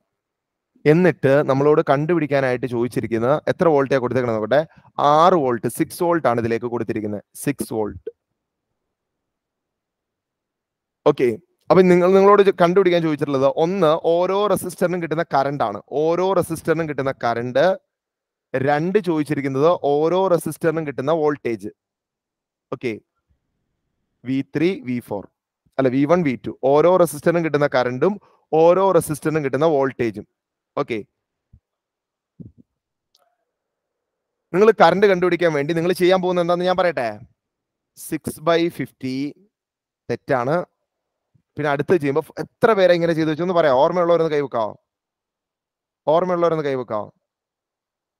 ഓ. ആരും ചെയ്ത എല്ലാവരും ബൈ വീക്കിലേക്ക് ടെൻ ഔട്ട് ഓഫ് ടെൻ ആണ് അല്ലേ? ഏ? ആ എത്ര പേരുണ്ട്? നിങ്ങൾക്ക് അതുപോലും ഓർമ്മയില്ല അല്ലെ? പാവങ്ങൾ. കൈ താത്തിക്കൂ കൈ എടാ ഒത്തിരി പേരുണ്ടോ ഒത്തിരി പേരുണ്ട്. കേട്ടോ അപ്പൊ എന്റെ ഇവിടെ പ്രശ്നം അറിയാം? ആര് പറഞ്ഞൂടാ നിങ്ങളോട് അവിടെ സിക്സ് കൊടുക്കാൻ? ആര് പറഞ്ഞു? അല്ല സിക്സ് അല്ലോ വി ബൈ ആർ അല്ലേ? എടാ V by R six six by fifty ഇങ്ങനെ ചെയ്തത് six by fifty six by ഫോറും ഇങ്ങനെ ഇങ്ങനെ ഇങ്ങനെ. ഇങ്ങനെ ചെയ്തിട്ടുള്ളവരോ കൈ വെക്കാവോ six by fifty six by four എടാ ഒത്തിരി പേര് ചെയ്തിട്ടുണ്ട്. നിങ്ങൾക്ക് ഓർമ്മയില്ലാത്തതാണ് ഓക്കെ നിങ്ങൾക്ക് അങ്ങനെ ഒരു ഡിഫക്റ്റും കൂടി ഉണ്ട്. കേട്ടോ ഓർമ്മയില്ല. ഓക്കെ സംഭവം ഇതാണ്. പക്ഷെ എനിക്ക് നല്ല ഓർമ്മയുണ്ട് കേട്ടോ. ഇതല്ല. ഇങ്ങനെ ചെയ്യരുത് പിള്ളേരെ ഇങ്ങനെ ചെയ്യരുത്. കാരണം ആര് പറഞ്ഞു നിങ്ങളോട് വോൾട്ടേജ് സെയിം ആയിട്ട് കൊടുക്കാൻ? സീരീസിൽ നിങ്ങൾ അങ്ങനെ പഠിച്ചേക്കുന്നത് നമ്മൾ പറയുമ്പോൾ പറയാം ആ സീരീസിൽ വോൾട്ടേജ് ഡിവൈഡ് വോൾട്ടേജ് പ്രോബ്ലം ചെയ്യുമ്പോൾ വോൾട്ടേജ് ചെയ്യുമ്പോൾ ഒരിക്കലും ചെയ്യരുത് പറ്റൂലടാ. സീരീസിൽ ഇങ്ങനെ കറണ്ട് കണ്ടുപിടിക്കാൻ പറ്റില്ല. സീരീസിൽ നമ്മൾ എന്താ കണ്ടുപിടിക്കണമെന്ന് അറിയോ സീരീസിൽ ഇതുപോലെ സർക്യൂട്ട് പ്രോബ്ലം ചോദിച്ചാൽ നമ്മൾ ഐ വൺ ഐ ടുയുടെ പുറകെ അല്ല ആദ്യം പോണ്ടേ നമ്മൾ ആദ്യം ടോട്ടൽ കറണ്ട് കാണാനാണ് പോകേണ്ടത് പിള്ളേരെ. Total current I one I two പോട്ടെ അവിടെ നിൽക്കട്ടെ അതിന്റെ പുറകെ പോരുത് കേട്ടോ തെറ്റിപ്പോവും. കാരണം നമുക്ക് അറിയില്ല അതിന്റെ വോൾട്ടേജ്. ആദ്യം എന്ത് കാണാൻ പോണം? ആ ഐ കണ്ടുപിടിക്കാനായിട്ട് പോകണം അപ്പൊ ഫസ്റ്റ് സ്റ്റെപ്പ് എന്ന് പറഞ്ഞാൽ എന്താ കാണണ്ടേ? ഐ ആണ് കാണേണ്ടത് കേട്ടോ ഐ കാണണം ആ സ്റ്റെപ്പ് ഈ ഓർഡർ ഓർത്തിരുന്നോളോട്ടെ ഇതിന്റെ പ്രോബ്ലം തരുമ്പോൾ ഓർഡർ ഫസ്റ്റ് എന്ത് കാണണം? ഐ കാണണം. ഐ കാണാൻ നമുക്കറിയാം. Total voltage by total resistance V total by R total V total എത്രയാ? സിക്സ് ആർ ടോട്ടൽ എത്രയാ? Fifty four six by fifty four ഇനിയിപ്പോ ചെയ്യണമല്ലോ. മടിയാണ്. സിക്സ് ഫിഫ്റ്റി ഒരു സെക്കൻഡേ ആരിലേക്ക് ചെയ്യുവാണെങ്കിൽ ഒന്ന് ആൻസർ പറ കേട്ടോ. കട്ട് ചെയ്ത്. ആ കട്ട് ചെയ്തിട്ട്? ത്രീ ബൈ ട്വന്റി സെവൻ അല്ലേ? ആ. വൺ ബൈ നയൻ പിന്നെയും കുറച്ചു. അല്ലെ? One by nine answer. എത്രയാ one one one one one one എന്ന് പറയും സീറോ പോയിന്റ് വൺ വൺ കണ്ടോ? ഇതാണ് കിട്ടേണ്ടത്. കണ്ടോ? നമുക്ക് ഇത് കിട്ടൂലടാ. ഇത് ഇത് നമ്മൾ എന്ത് ചെയ്യുന്നറിയോ ഇത് കാണുന്നതിന് പകരം ഐ വണ്ടെ പുറകെ പോരുത് കേട്ടോ ഇത് എപ്പോഴും ഓർത്തോളണം സീരീസിൽ അതിനാണ് ഒരു സ്റ്റെപ്പ് ആയിട്ട് തന്നെ പഠിച്ചു വെച്ചോ. സീരീസിൽ പ്രോബ്ലം തന്നിട്ട് കറണ്ട് കാണാൻ ചോദിച്ചാൽ ഐ വൺ ഐ ടൂടെ പുറകെ അല്ല പോണ്ടേ? ടോട്ടൽ കറണ്ട് ആണ് കാണേണ്ടത് എന്നിട്ട് എന്ത് ചെയ്താൽ മതി? അതെല്ലാം സെയിം അല്ലേ? അത് തന്നെ ഇവിടെ ഇട്ട് കൊടുത്താൽ മതി. Zero point one one ampere zero point one one ampere കണ്ടോ? ഇനി വോൾട്ടേജ് രണ്ടാമതാണ് ചെയ്യേണ്ടത്. വോൾട്ടേജ് കണ്ടുപിടിക്കലേ കറണ്ട് വേണ്ടേ? ഓക്കെ അത് നമ്മുടെ കയ്യിൽ കിട്ടി. അപ്പൊ എന്ത് വന്നു? V is equal to I one into R one ഇത് നമുക്ക് സെപ്പറേറ്റ് കാരണം കറണ്ട് ഡിഫറെന്റ് ആയതുകൊണ്ട് നമുക്ക് എന്ത് ചെയ്യാം? കറണ്ട് ഡിവൈഡഡ് ആണ് നമ്മുടെ കയ്യിൽ കിട്ടിയതുകൊണ്ട് ഇവിടെ നമുക്ക് ചെയ്യാം. I one into R one എന്ന് പറഞ്ഞാൽ zero point one one into R one fifty അടുത്തതിൽ വരുമ്പോ zero point one one into R two four okay zero point one one into ഒരു സെക്കൻഡേ zero point one one into fifty അല്ലേ zero point one one into fifty ചെയ്യുമ്പോൾ five point five volt എന്ന് കിട്ടും. മറ്റേ പിന്നെ ചെയ്യേണ്ട കാര്യമില്ല. ഇവിടുത്തെ ഫൈവ് പോയിന്റ് ഫൈവ് വോൾട്ട് ആണെങ്കിൽ മറ്റേ എന്തായിരിക്കും സീറോ പോയിന്റ് ഫോർ വോൾട്ട് ആയിരിക്കും. Zero point four something four four volt ആയിരിക്കും കിട്ടുക. ഓക്കെ ഇത് കിട്ടുന്ന ഫൈവ് പോയിന്റ് ഫൈവ് വോൾട്ട് ഇത് രണ്ടും കൂടെ കൂട്ടുമ്പോൾ ഏകദേശം സിക്സിലേക്ക് തന്നെ എത്തും കണ്ടോ? ഓക്കെ ഇത് എപ്പോഴും ഓർത്തോളണം കേട്ടോ പിള്ളേരെ. ആദ്യം ടോട്ടൽ കറണ്ട് കണ്ടുപിടിക്കണം. എന്നിട്ട് ആ കറണ്ട് തന്നെ ഇവർക്ക് രണ്ടുപേർക്കും കൊടുക്കണം കേട്ടോ? ഇതാണ് സ്റ്റെപ്പ് കേട്ടോ? First find total current then എന്ത് ചെയ്യും? ആ this current will be same across same through all resistor എല്ലാ റെസിസ്റ്ററിലൂടെയും ഇതേ കറണ്ട് തന്നെ ആയിരിക്കും നിങ്ങൾ ഐ വൺ കാണാൻ വേണ്ടിയിട്ട് V one by R one എന്ന് ഇടാൻ പോവരുത്. കാരണം വി വൺ ഇപ്പോഴാണ് നമുക്ക് കിട്ടിയേ. ഇനി വേണി ഇട്ട് കൊടുത്തു നോക്കിയേ. ഇനി ഇട്ട് കൊടുത്താൽ കറക്റ്റ് ആയിരിക്കും. V one by R one എന്ന് പറഞ്ഞിട്ട് വി വൺ എത്രയാ? Five point five by R one എത്രയാ? ഫിഫ്റ്റി ഇതോ zero point four four by R two എത്രയാ? ഫോർ ഇനി ഇട്ട് കൊടുത്താൽ കറക്റ്റാ പക്ഷെ ഇത് നമുക്ക് അറിയണ്ടേ? ഇതിൽ കിട്ടുന്ന വോൾട്ടേജ് അറിഞ്ഞാലും ഇട്ട് കൊടുക്കാൻ പറ്റില്ല അത് നമുക്ക് അറിയില്ലോ അപ്പൊ ഈ വഴി പോവരുത്. അപ്പൊ ഞാൻ പറയുന്നതാണ് സീരീസിലെ വോൾട്ടേജ് ഡിവൈഡഡ് ആണെന്ന് നമ്മൾ പറയും. പ്രോബ്ലം ചെയ്യുമ്പോൾ നമ്മൾ അത് വിട്ടുപോരുത്. കേട്ടോ. ഒരു പ്രോബ്ലം അതായത് അതല്ലേ? ഫിസിക്സ് എന്ന് പറഞ്ഞാലും മാത്സ് എന്ന് പറഞ്ഞാലും അതല്ലേ? നമ്മൾ വെറുതെ കുറെ കാര്യങ്ങൾ പഠിക്കുന്നതല്ലോ അത് അപ്ലൈ ചെയ്യാൻ അറിയണ്ടേ? ഓക്കെ അപ്പൊ ഇവിടെ ഇത് അപ്ലൈ ചെയ്യുമ്പോൾ മാറിപ്പോണ്ടിരിക്കാൻ ശ്രദ്ധിക്കുക കേട്ടോ. ഇതാണ് ഇവിടെ പറയാനുള്ളൂ. സീരീസിൽ അതുപോലെ തന്നെ പാരലും പാരലിലും മിസ്റ്റേക്കുകൾ വന്നിട്ടുണ്ട്. പാരലിൽ പിന്നെ വോൾട്ടേജ് എങ്കിലും കുറെ പേരുടെയൊക്കെ ശരിയാണ്. ഇത് ഭയങ്കര പ്രശ്നമാണ്. ഇത് പിള്ളേർക്ക് മാറിപ്പോയത്. കേട്ടോ? അപ്പൊ കറണ്ട് ആദ്യം ടോട്ടൽ കാണണം. ആലോചിച്ചാൽ മതി. ഫസ്റ്റ് ടോട്ടൽ കാണണം. പറയണം മോനെ. അല്ല ഈ കറണ്ട് സെയിം ആണെങ്കിൽ പിന്നെ എന്താണ് ഐ വൺ ഐ ടു കിട്ടുന്നത് ഐ- എടാ അത് ഫസ്റ്റ് റെസിസ്റ്ററിൽ കൂടെയുള്ള കൈ കറണ്ടിനെ റെപ്രസെന്റ് ചെയ്യുന്ന ലെറ്റർ ഐ വൺ അല്ലേ? അങ്ങനെ കൊടുത്തിരിക്കുന്നതാണ്. ഓക്കെ അത് തിരിച്ചറിയണ്ടടാ. ഏതിന്റെ കരണം നമ്മൾ കണ്ടുപിടിക്കുന്നതെന്ന് അറിയാൻ വേണ്ടിയിട്ട് ഒരു തിരിച്ചറിയാൻ വേണ്ടി കൊടുക്കുന്ന ഒരു ലെറ്റർ അത് അത്രേ ഉള്ളൂ. I one equal to I two equal to I എല്ലാം സെയിം ആണ് ശരിക്കും പറഞ്ഞാൽ ഓക്കെ പക്ഷെ ഐ എന്ന് പറയുമ്പോൾ ടോട്ടൽ കറണ്ട് ആണെന്നുള്ളൊരു മീനിങ് അല്ല വരുള്ളൂ. ഐ വൺ എന്ന് പറയുന്നത് മീനിങ് ഉണ്ടല്ലോടാ. ആ ഐ വൺ എന്ന് പറയുന്ന ആ ലെറ്റർ എഴുതുന്നതിന് ഒരു മീനിങ് ഉണ്ടല്ലോ. ഫസ്റ്റ് റെസിസ്റ്ററിലൂടെയുള്ള കറണ്ട് അതാ കാണിക്കുന്നത് വാല്യൂ സെയിം ആയിരിക്കും. പക്ഷെ ആ റെപ്രസെന്റ് ചെയ്യുന്ന ലെറ്ററിന് ഒരു മീനിങ് ഉണ്ടല്ലോ. ഓക്കെ അടുത്ത പറയട്ടെ മേന. ഓക്കെ രണ്ടാമത്തത്. രണ്ടാമത്തത് നമ്മൾ പറയുന്നത് പാരലൽ കണക്ഷനിൽ ഇതും ഈ പറഞ്ഞ പോലെ തന്നെ നമ്മൾ വെറുതെ പറച്ചിൽ മാത്രമേ ഉള്ളൂ പ്രോബ്ലം ചെയ്യുമ്പോൾ തെറ്റിക്കും. ഓക്കെ പാരലലിൽ ചാർജിന് ഫ്ലോ ചെയ്യാൻ ഒന്നിൽ കൂടുതൽ പാത്ത് ഉണ്ടാവും അല്ലെ? ഡിഫറെന്റ് പാത്തിലൂടെ ആയിരിക്കും ചാർജ് ഒഴുകുന്നത്. എടാ അഡ്വാ കാര്യങ്ങളുണ്ട് ഇതിനകത്ത് കേട്ടോ. എന്താ? പാരലൽ ആണെങ്കിൽ ഒറ്റ സ്വിച്ച് ഉപയോഗിച്ച് സെപ്പറേറ്റ് സ്വിച്ച് ഉപയോഗിച്ച് കൺട്രോൾ ചെയ്യാം. ഒരു ഡിവൈസ് അടിച്ചു പോയി കഴിഞ്ഞാൽ ബാക്കിയുള്ള തന്നെ വർക്ക് ചെയ്യാൻ പറ്റില്ല. ഇങ്ങനെയുള്ള കാര്യങ്ങളുണ്ട് ടെക്സ്റ്റിലോട്ട് നോട്ടിൽ തന്നിട്ടുണ്ട്. അതൊക്കെ അങ്ങനെ നോക്കി പഠിച്ചാൽ മതി. ഇപ്പൊ ഞാൻ ഈ മൂന്ന് പ്രത്യേകത നമുക്ക് പ്രോബ്ലം ചെയ്യാൻ ആവശ്യമുള്ളതുകൊണ്ട് ഇത് മാത്രമേ പറഞ്ഞു പോകുന്നുള്ളൂ കേട്ടോ ഒന്ന് ഡിഫറെന്റ് ആണ്. ഇവിടെ എന്താ പിള്ളേരെ ഡിവൈഡ് ആവുന്നത്? കറണ്ട് ആണ് ഇവിടെ ഡിവൈഡ് ആവുന്നത്. കറണ്ട് ഡിവൈഡഡ് ഓക്കെ ഇനി ഇവിടെ എന്താ സെയിം ആ ഇവിടെ വോൾട്ടേജ് സെയിം ആണ്. വോൾട്ടേജ് സെയിം വോൾട്ടേജ് സെയിം കണ്ട പിള്ളേർ അപ്പൊ ഈ കറണ്ട് ഡിവൈഡ് ആവുന്നത് എങ്ങനെയാ? ഇവിടെ ഒരു കറണ്ട് ആണെങ്കിൽ ഇവിടെ ഇതിൽ കൂടെ ഒഴുകുന്ന കറണ്ട് ആണെങ്കിൽ ഈ പാത്ത് ഡിവൈഡ് ആവുന്നതുകൊണ്ട് ഇവിടെ കിട്ടുന്ന കറണ്ട് ഐ വൺ ആണ്. ഇവിടെ കിട്ടുന്ന കറണ്ട് ഐ ടു ആണ്. പാരലൽ തിരിക്കാനൊക്കെ ചാൻസ് പിന്നെയും കുറവാ. സീരീസ് തെറ്റി നിങ്ങൾ തെറ്റിക്കാനാണ് കൂടുതൽ ചാൻസ് കേട്ടോ? ഓക്കെ ഒരു എക്സാമ്പിൾ നമുക്ക് ചെയ്യാം. കേട്ടോ? ഇത് നമുക്ക് സീരിയസ് നമ്മൾ എന്താ ബൈ വീക്കിലേക്ക് ചെയ്ത അതേ എക്സാമ്പിൾ തന്നെ എടുത്ത് ചെയ്യാം. എക്സാമ്പിൾ ബൈ വീക്കിലേക്ക് ചെയ്ത എക്സാമ്പിൾ ഒന്ന് നോക്കട്ടെ? ബൈ വീക്കിലേക്ക് നമ്മൾ ചെയ്തത് ഫൈവ് ടെൻ ഫിഫ്റ്റീൻ അല്ലെ? കൊടുത്തിരിക്കുന്ന ആ ഇനി തെറ്റിച്ചൊരു കാര്യമാണ് എന്താണെന്നറിയോ? ടു വോൾട്ടിന്റെ മൂന്ന് ബാറ്ററി മൂന്ന് സെൽ എന്ന് പറഞ്ഞാൽ അത് സിക്സ് വോൾട്ട് അല്ലട മൊത്തം. അത് ടു വോൾട്ട് എന്ന് എടുത്തവർ കുറെ പേരുണ്ട്. ഒന്ന് കൈവെക്കാം ഓർമ്മയുള്ളവരാ? അതും ഓർമ്മയില്ലേ?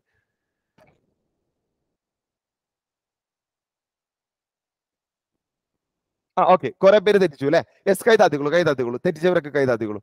അപ്പോ അപ്പൊ എന്താന്ന് വെച്ച് കഴിഞ്ഞാൽ ഈ സംഭവം എടാ ശരിക്കും ക്വസ്റ്റ്യൻ വായിക്കണം കേട്ടോ. ടു വോൾട്ടിന്റെ മൂന്ന് സെൽ എന്ന് പറയാൻ എത്രയാടാ? ഓക്കെ ആ രണ്ട് ലിറ്റർ മൂന്ന് പാത്രത്തിൽ ഉണ്ടെന്ന് പറഞ്ഞാൽ നിങ്ങൾ എത്ര ചെയ്യാ രണ്ട് ലിറ്റർ എന്നാണ് പറയാ അല്ലല്ലോ ആറ് ലിറ്റർ ആയില്ലേ അവിടെ? അപ്പൊ ടു വോൾട്ടിന്റെ മൂന്ന് സെൽ എന്ന് പറഞ്ഞാൽ അത് സിക്സ് വോൾട്ട് ആണ്. തെറ്റിച്ചവരുണ്ട്. ഒരു പത്ത് പേരെങ്കിലും മിനിമം അത് തെറ്റിച്ചിട്ടുണ്ടാവും. ഓക്കെ അപ്പൊ അത് കറക്റ്റ് ചെയ്യണം കേട്ടോ. അപ്പൊ ക്വസ്റ്റ്യൻ ശരിക്കും വായിക്കണം. സെല്ല് വേറെ ബാറ്ററി വേറെ കേട്ടോ. സെല്ലുകൾ കൂടി ചേരുമ്പോഴാണ് നമ്മൾ അതിനെ ബാറ്ററി എന്ന് വിളിക്കുന്നത്.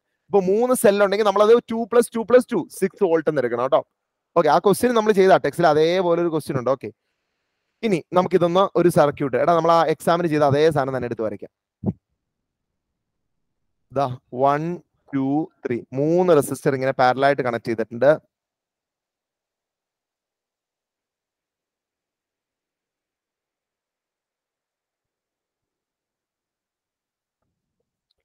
ഇവിടെ കൊടുക്കുന്ന ആ, ക്വസ്റ്റ്യനിൽ കൊടുത്തിരിക്കുന്ന മൂന്ന് സിക്സ് ടു വോൾട്ടിന്റെ ബാറ്ററി എന്നാണ്. ഇപ്പൊ രണ്ടെണ്ണം ആണെങ്കിലും ഞാൻ സിക്സ് വോൾട്ട് ബാറ്ററിയുടെ വോൾട്ടേജ് ആണ് കൊടുക്കുന്നത് സിക്സ് വോൾട്ട് ബാറ്ററിയുടെ വോൾട്ട് ആണ് സെൽ അല്ല ബാറ്ററിയുടെ വോൾട്ടേജ് സിക്സ് വോൾട്ട് ഇനി അവിടെ കൊടുക്കുന്ന റെസിസ്റ്റൻസ് എന്ന് പറയുന്നത് അന്ന് ബൈവിക്കിലേക്ക് ഉണ്ടായിരുന്നത് ഫൈവ് ടെൻ ഫിഫ്റ്റീൻ ഓം ആണ്. ഫൈവ് ടെൻ ഫിഫ്റ്റീൻ ഓം അഞ്ച് ഓമിന്റെയും ഫൈവ് ഓമിന്റെയും ടെൻ ഓമിന്റെയും fifteen ഓമിന്റെയും okay five ohm ten ohm fifteen ohm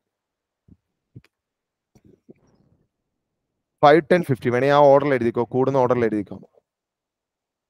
Five ten ohm fifteen ohm okay അപ്പൊ നിങ്ങൾക്ക് ആ എക്സാമിന് മാർക്ക് കുറഞ്ഞവരുണ്ടെങ്കിൽ നിങ്ങൾക്ക് ഇതിനകത്ത് ഒരു പ്രശ്നം പറ്റിയിട്ടുണ്ടാവുന്ന എനിക്ക് ഉറപ്പാണ്. കാരണം നാല് മാർക്ക് ഇതിനകത്ത് നാലോ? അല്ലെ? നാല് മാർക്ക് ആറ് മാർക്ക് എന്തോ? നാല് മാർക്കാന്ന് തോന്നുന്നു അല്ലെ? നാല് മാർക്ക് ഇതിനകത്താണ് പോയിട്ടുണ്ടാവുക. അപ്പൊ നാല് മാർക്ക് കുറഞ്ഞാൽ തന്നെ ടെന്ന ടെന്നിൽ സിക്സ് ആയി.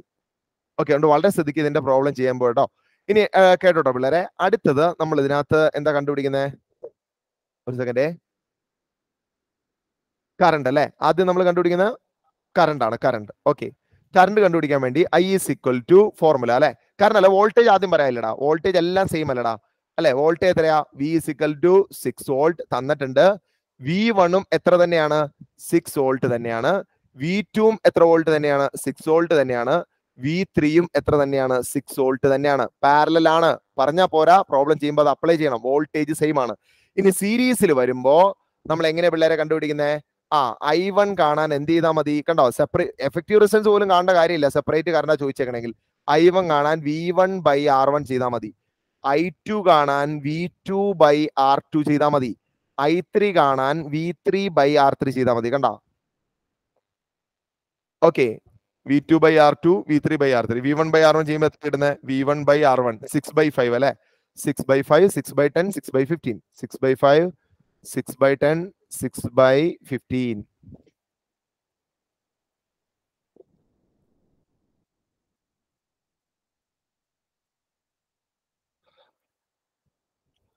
six by five ചെയ്യുമ്പോൾ എത്ര ഉള്ളത് സിക്സ് പോയിന്റ് സിക്സ് അല്ലല്ലോ six by five six by five അല്ലല്ലോ സിക്സ് ബൈ ഫൈവ് ചെയ്യുമ്പോൾ one point two one point two കിട്ടും കേട്ടോ സിക്സ് ബൈ ഫൈവ് ചെയ്യുമ്പോൾ വൺ പോയിന്റ് ടു ആംബിയർ എന്ന് കിട്ടും. ഇത് പിന്നെ സീറോ പോയിന്റ് സിക്സ് ആംബിയർ ആണ്. ഓക്കെ ഇനി ഈ സിക്സ് ബൈ ഫിഫ്റ്റീൻ ചെയ്യുമ്പോൾ സിക്സ് ബൈ ഫിഫ്റ്റീൻ ചെയ്യുമ്പോൾ സിക്സ് ബൈ ഫിഫ്റ്റീൻ എത്ര കിട്ടും? സീറോ പോയിന്റ് ഫോർ കിട്ടും. ഇതെല്ലാം കൂടി ആഡ് ചെയ്യുമ്പോൾ എത്ര കിട്ടും? ടു പോയിന്റ് ടു ആംബിയർ എന്ന് കിട്ടും. നമുക്ക് ഇത് കറക്റ്റ് ആണെന്ന് ചെക്ക് ചെയ്ത് നോക്കാം. ഈ സർക്യൂട്ടിലെ ടോട്ടൽ കറണ്ട് എത്രയാന്ന് നോക്കിയാൽ മതിയല്ലോ? ടോട്ടൽ കറണ്ട് ഐ കാണാൻ വേണ്ടിയിട്ട് വി ബൈ ആർ ചെയ്താൽ മതി. ആർ എന്ന് പറഞ്ഞാൽ എഫക്റ്റീവ് റെസിസ്റ്റൻസ് ആണ്. അത് സെപ്പറേറ്റ് കണ്ടുപിടിക്കണം കേട്ടോ. ഈ ആർ നമ്മൾ വൺ ബൈ ആർ ഇട്ട് കൊടുത്ത് കാണുന്ന കാര്യം ഓർക്കുന്നില്ലേ? One by R is equal to one by ഇത് സീരീസ് പാരൽ ആയതുകൊണ്ട് one by five plus one by ten plus one by fifteen എന്നിട്ട് ചെയ്യണം. ഓക്കെ ഞാൻ ഒറ്റയടിക്ക് ചെയ്ത് പോവാണേ. ഫൈവ് ആണ് അല്ലെ? ഫൈവ് ആകുമ്പോ എല്ലാം ഫിഫ്റ്റീൻ ആക്കിയാൽ മതി. അപ്പൊ ത്രീ കൊണ്ട് മൾട്ടിപ്ലൈ ആയി ഇവിടെ ത്രീ ഇവിടെ അല്ല തേർട്ടി ഫസ്റ്റത്തേനെ ത്രീ കൊണ്ട് രണ്ടാമത്തേനെ ടു കൊണ്ട് മൂന്നാമത്തേനെ ഫസ്റ്റത്തേനെ ത്രീ കൊണ്ട് ഫസ്റ്റത്തേനെ സിക്സ് കൊണ്ട് രണ്ടാമത്തേനെ ത്രീ കൊണ്ട് മൂന്നാമത്തേനെ ടു കൊണ്ട്. ഫസ്റ്റത്തേനെ സിക്സ് കൊണ്ട് രണ്ടാമത്തേനെ ത്രീ കൊണ്ട് മൂന്നാമത്തേനെ ടു കൊണ്ട്. ഡിവൈഡഡ് ബൈ തേർട്ടി ഓക്കെ അപ്പൊ വൺ ബൈ ആർ എന്ന് പറയുന്നത് എന്താ? ലെവൻ ബൈ തേർട്ടി ഇങ്ങനെയുള്ള പിള്ളേരെ കിട്ടുന്നത് one by R eleven by thirty ആണ്. ആർ എന്ന് പറഞ്ഞാൽ തേർട്ടി ബൈ ലെവൻ കിട്ടും. തേർട്ടി ബൈ ലെവൻ തിരിച്ചിട്ടുണ്ട് റെസിപ്രോക്കൽ അല്ലേ? തേർട്ടി ബൈ ലെവൻ ഇതിന്റെ പ്രോബ്ലം ചെയ്യാനായിട്ട് പഠിക്കണേ. തേർട്ടി ബൈ ലെവൻ എന്ന് ഡിവൈഡ് ചെയ്യുമ്പോൾ നമുക്ക് ആൻസർ കിട്ടുന്നത് ടു പോയിന്റ് സെവൻ ടു എന്ന് കിട്ടും. Two point seven two ohm നമ്മൾ ഇത് പോയിട്ട് ഇവിടെ അങ്ങ് ഇട്ട് കൊടുത്താൽ മതി. വോൾട്ടേജ് എത്രയാ six by two point seven two six by two point seven two ചെയ്യുമ്പോൾ എത്ര കിട്ടും? Six by two point seven two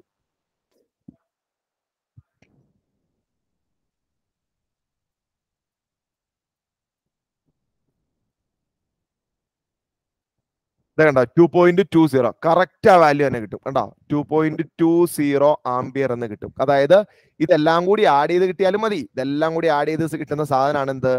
total current എന്ന് പറയുന്നത്. ഐ അത് തന്നെ നമുക്ക് ഓംസിൽ വെച്ചാൽ ഇനി എഫക്റ്റീവ് റിസൾട്ട് ചോദിച്ചു കഴിഞ്ഞാൽ നമ്മൾ ഈ സ്റ്റെപ്പ് ചെയ്യേണ്ട വരില്ലേ?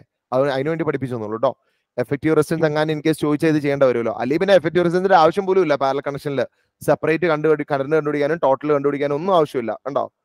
ചുമ്മാ ആഡ് ചെയ്താൽ പോലെ എല്ലാം കൂടെ. One point two plus point six plus point four എല്ലാം കൂടി ആഡ് ചെയ്യുമ്പോൾ എത്ര കിട്ടുന്നത് ടു പോയിന്റ് ടു കിട്ടുന്നത് കണ്ടോ? ഏതെങ്കിലും കാണിക്കണം പിള്ളേരെ?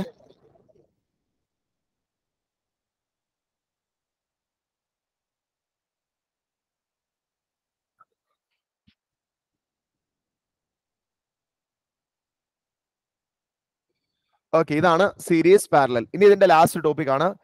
എനർജി കാൽക്കുലേഷൻ ആണ് ഇതിന്റെ ലാസ്റ്റ് ടോപ്പിക് കേട്ടോ. എനർജി എനർജി എന്ന് കൊടുത്താൽ മതി. എനർജി എടാ ഒരു ഒരു അഞ്ച് മിനിറ്റ് നിങ്ങൾ ആ ഫീഡ്ബാക്ക് ഫോം ഒന്ന് ഫില്ല് ചെയ്തിട്ട് വന്നാൽ എല്ലാവരും ഫില്ല് ചെയ്യണം കേട്ടോ.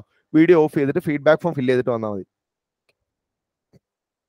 നിങ്ങളുടെ വാട്സപ്പ് ഗ്രൂപ്പിലും ഉണ്ട്. അതുപോലെ ഇതിനകത്തും കിടക്കുന്നുണ്ടാവും. എടാ പെട്ടെന്ന് ഫില്ല് ചെയ്യണേ. ഒരുപാട് സമയം എടുക്കരുതേ.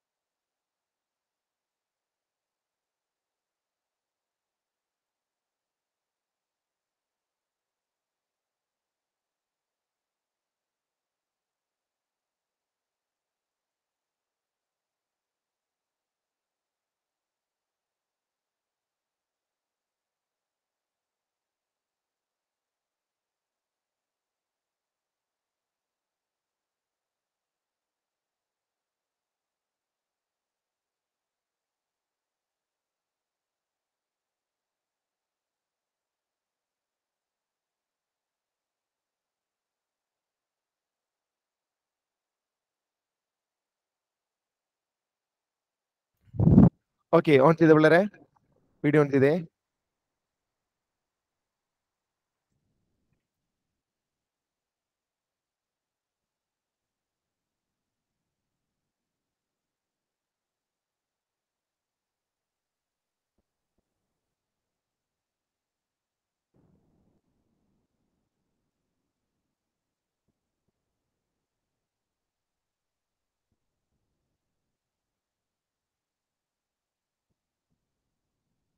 ഓക്കെ. എടാ ഇനി നമുക്ക് പഠിക്കാനുള്ളതേ. എനർജി എനർജിയുമായിട്ട് ബന്ധപ്പെട്ടുള്ള രണ്ട് ടോപ്പിക്കാണ് നമ്മുടെ ഇതിനകത്ത് ഇനി വരുന്നത് ഓക്കെ നമ്മുടെ ചാപ്റ്ററിൽ വരുന്നത് അതിനകത്ത് ഫസ്റ്റ് വൺ ആണ് എനർജി എങ്ങനെ കൺവേർഷൻ കൺവേർഷൻ എനർജി കൺവേർഷൻ പിന്നെ രണ്ടാമത് എനർജി എങ്ങനെ കാൽക്കുലേറ്റ് ചെയ്യാന്നുള്ളൂ എനർജി കാൽക്കുലേഷൻ അവിടെ നിൽക്കട്ടെ ഇത് കഴിഞ്ഞ് പറയാം. അത് നമുക്ക് എനർജി കൺവേർഷനെ കുറിച്ച് പറയാം. എനർജി കൺവേർഷൻ എനർജി കൺവേർഷൻ എന്ന് പറഞ്ഞാൽ ഒരു എനർജിയെ മറ്റൊരു എനർജി ആക്കി മാറ്റുന്നതാണ്. ഫോർ എക്സാമ്പിൾ പറഞ്ഞാൽ heating effect okay heat energy electric energy heat energy ആക്കി മാറ്റുന്നതാണ്. അതിന് എക്സാമ്പിൾ ആണ് ഇലക്ട്രിക് ഹീറ്ററും അയൺ ബോക്സ് ഒക്കെ. രണ്ടാമത്താണ് ലൈറ്റിംഗ് എഫക്ട് ലൈറ്റിംഗ് എഫക്ട് എന്ന് പറഞ്ഞാൽ എന്താ? ഇലക്ട്രിക് എനർജിയെ ലൈറ്റ് ആക്കി മാറ്റുന്നതാണ്. ലൈറ്റ് ആക്കിയിട്ടാണ് ഇവിടെ മാറ്റുന്നത്. ഫസ്റ്റ് കേസിൽ എന്താക്കിയാ മാറ്റുന്നത് ഹീറ്റ് ആയിട്ടാണ് മാറ്റുന്നത്. ഓക്കെ അപ്പൊ ഇത് തിയറിയാണ് പക്ക തിയറിയാണ് ജസ്റ്റ് ഒന്ന് വായിച്ചു പഠിച്ചിട്ട് പോകും അത്രേ ഉള്ളൂ. ഓക്കെ ഇനി ഹീറ്റിംഗ് എഫക്റ്റിൽ വരുന്ന ആപ്ലിക്കേഷനിൽ ഫസ്റ്റ് വൺ ആണ്. ഹീറ്റിംഗ് ഡിവൈസ് ഉണ്ട്. ലൈറ്റിംഗ് എഫക്റ്റിൽ വരുന്നതാണ് ഫിലമെന്റ് ലാമ്പ് അല്ലെങ്കിൽ ഇൻകാൻഡസ് ലാമ്പ് സ്കൂളിൽ ഏത് പേരാ യൂസ് ചെയ്തത് ഇൻകാൻഡസൽ ലാമ്പ് എന്നാണ് ഫിലമെന്റ് ലാമ്പ് എന്നാണ് പറയാ? രണ്ടാമത് പറഞ്ഞാണ് പറയാ? ആണ് ജന്നത്തെ ആണ്. മെന എടുത്ത് ഇത് ഫസ്റ്റ് ആണ്. നെഫില ഫസ്റ്റ് ആണ്. ഓക്കെ ഏത് വേണമെങ്കിൽ കൊടുത്തോ കേട്ടോ ഫിലമെന്റ് ലാമ്പ് എന്ന് പറഞ്ഞാൽ രണ്ട് ശരിയാണ്. ഫിലമെന്റ് ലാമ്പ് എന്ന് വിളിക്കാം ഇൻകാൻഡസൽ ലാമ്പ് എന്ന് വിളിക്കാം. ഓക്കെ ഇനി ഇതിനകത്ത് ഹീറ്റിംഗ് ഡിവൈസിനെ കുറിച്ച് അറിയേണ്ട കുറച്ച് കാര്യങ്ങളുണ്ട്. ഇതിന്റെ മെയിൻ പാർട്ട് അല്ലെ? ഒരു ഹീറ്റിംഗ് ഡിവൈസിന്റെ മെയിൻ പാർട്ട് എന്ന് പറയുന്നത് അതിന്റെ ഹീറ്റിംഗ് കോയിലാണ് ഹീറ്റിംഗ് കോയിൽ ഓക്കെ ഹീറ്റിംഗ് ഡിവൈസിന്റെ മെയിൻ പാർട്ട് ഹീറ്റിംഗ് കോയിലാ ഇത് ഉണ്ടാക്കുന്ന മെറ്റീരിയൽ ആണ് നിക്രോം അല്ലെങ്കിൽ ഇത് ഉണ്ടാക്കുന്ന അലോയുടെ പേരാണ് നിക്രോം ഓക്കെ അതിലിപ്പോ ഏതൊക്കെ വരും? നിക്കൽ വരും ക്രോമിയം വരും അല്ലെ? മാംഗനീസ് വരും അയൺ വരും. ഇതെല്ലാം കൂടി ചേർത്തിട്ട് ഉണ്ടാക്കുന്ന ഒരു അലോയ് ആണെന്ന് പറയുന്നത് നിക്രോം ഈ നിക്രോം ആണ് ഹീറ്റിംഗ് കോയിലായിട്ട് യൂസ് ചെയ്യുന്നത് എന്തിനാ ഇത് യൂസ് ചെയ്യുന്നത് ഇത് യൂസ് ചെയ്താലുള്ള അഡ്വാന്റേജ് എന്തൊക്കെയാ? എന്തുകൊണ്ടാണ് നിക്രോം ഹീറ്റിംഗ് കോയിലായിട്ട് യൂസ് ചെയ്യുന്നത് ആ അതിന് പറയുന്ന ഒരു അഡ്വാന്റേജ് പല അഡ്വാന്റേജസിൽ ഒരു അഡ്വാന്റേജ് എന്ന് പറയുന്നത് നിക്രോമിന് ഹൈ മെൽറ്റിംഗ് പോയിന്റ് ആണ്. അത് പെട്ടെന്ന് ഉരുകി പോവില്ല. ഓക്കെ ചുട്ടുപഴുത്ത് ഇങ്ങനെ നിൽക്കും. ഹൈ മെൽറ്റിംഗ് പോയിന്റ് ആണ്. ഓക്കെ ഇനി പറയുന്ന ഒരു അഡ്വാന്റേജ് അതിന് റെസിസ്റ്റിവിറ്റി കൂടുതലാണ്. High resistivity high resistivity okay പിന്നെയുണ്ട് able to remain red hot condition അതൊക്കെ എഴുതാം. Remain in red hot condition for long time remain red hot ഇങ്ങനെ ചുട്ടുപഴുത്ത അവസ്ഥയിൽ നിൽക്കുക അതാണ് ഈ റെഡ് ഹോട്ട് എന്ന് പറയുന്നത്. Remain red hot condition for long time ഒരുപാട് നേരം ഇങ്ങനെ ചുട്ടുപഴുത്ത അവസ്ഥയിൽ നിൽക്കും. ഓക്കെ അപ്പൊ എന്തൊക്കെയാണ് നിക്രോമിന്റെ അഡ്വാന്റേജ് വരുന്നത് മെൽറ്റിംഗ് പോയിന്റ് കൂടുതലാണ് റെസിസ്റ്റിവിറ്റി കൂടുതലാണ് ചുട്ടുപഴുത്ത അവസ്ഥയിൽ കുറെ നേരം നിൽക്കും. ഇതൊക്കെ അഡ്വാന്റേജ് ആണ് കേട്ടോ ഹീറ്റിംഗ് ഡിവൈസ് ഓക്കെ ഇനി ഹീറ്റിംഗ് ഡിവൈസ് അല്ല ഇനി രണ്ടാമതൊരു ആപ്ലിക്കേഷൻ വരുന്നത് സേഫ്റ്റി ഫ്യൂസ് ആണ്. ഇത് കഴിഞ്ഞോ പിള്ളേരെ? കഴിഞ്ഞോ കഴിഞ്ഞോ? ആ ഓക്കെ എഴുതിക്കോ എഴുതിക്കോ എഴുതിക്കോ. ടോപ്പ് പോർഷൻ ഒന്ന് കാണിക്കുമോ ആ കാണിക്കാലോ.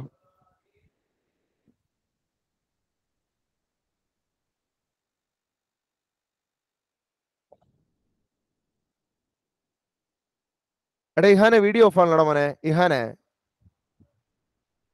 സോറി സാർ ഞാൻ രണ്ടാമത് വീട്ടിലെത്തിയിട്ട് പറയാം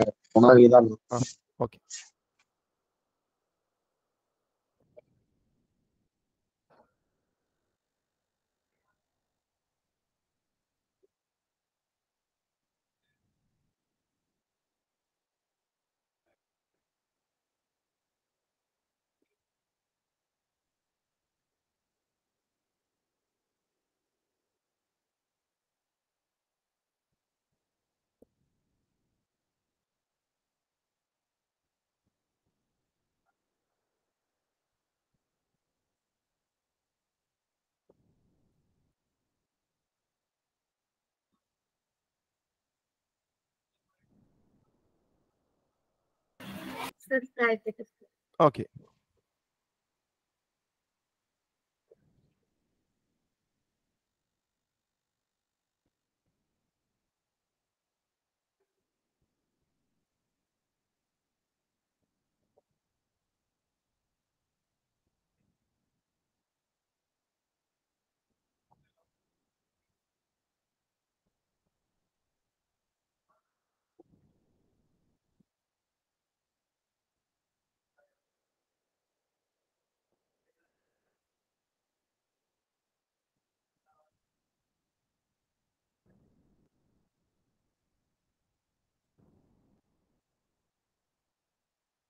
കഴിഞ്ഞ പിള്ളേരെ?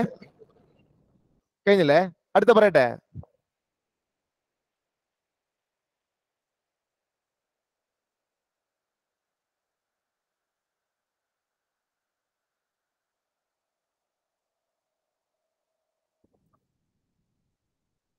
കഴിഞ്ഞല്ലോ അല്ലേ? ഓക്കെ എടാ ശ്രദ്ധിച്ചോട്ടോ ഇനി രണ്ടാമത്തെ ആപ്ലിക്കേഷൻ ആണ്. അതായത് ഹീറ്റിംഗ് ഡിവൈസിൽ അപ്പോൾ എന്തൊക്കെയാണോ ഹീറ്റിംഗ് എഫക്റ്റിന്റെ ഒരു ആപ്ലിക്കേഷൻ ഹീറ്റിംഗ് ഡിവൈസ് അതിനകത്ത് തന്നെയാണ് ഈ അയൺ ബോക്സ് വാട്ടർ ഹീറ്റർ എല്ലാം അതിനകത്ത് വരുന്നതാണ്.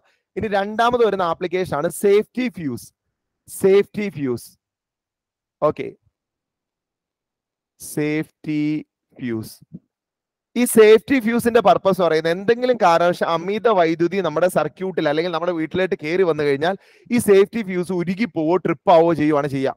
ഓക്കെ അപ്പൊ ഹൈ കറണ്ട് ഫ്ലോ വന്നു കഴിഞ്ഞാൽ അല്ലെങ്കിൽ എക്സസ് കറണ്ട് അമിത വൈദ്യുതി എക്സസ് കറണ്ട് ഫ്ലോ വന്നു കഴിഞ്ഞാൽ ഈ സേഫ്റ്റി ഫ്യൂസ് ഒന്നല്ലെങ്കിൽ ഫ്യൂസ് വയർ എന്ത് ചെയ്യും? ഒന്നല്ലെങ്കിൽ ഫ്യൂസ് വയർ ആണെങ്കിൽ മെൽറ്റ് ആവും അല്ലെങ്കിൽ ട്രിപ്പ് ആവണം.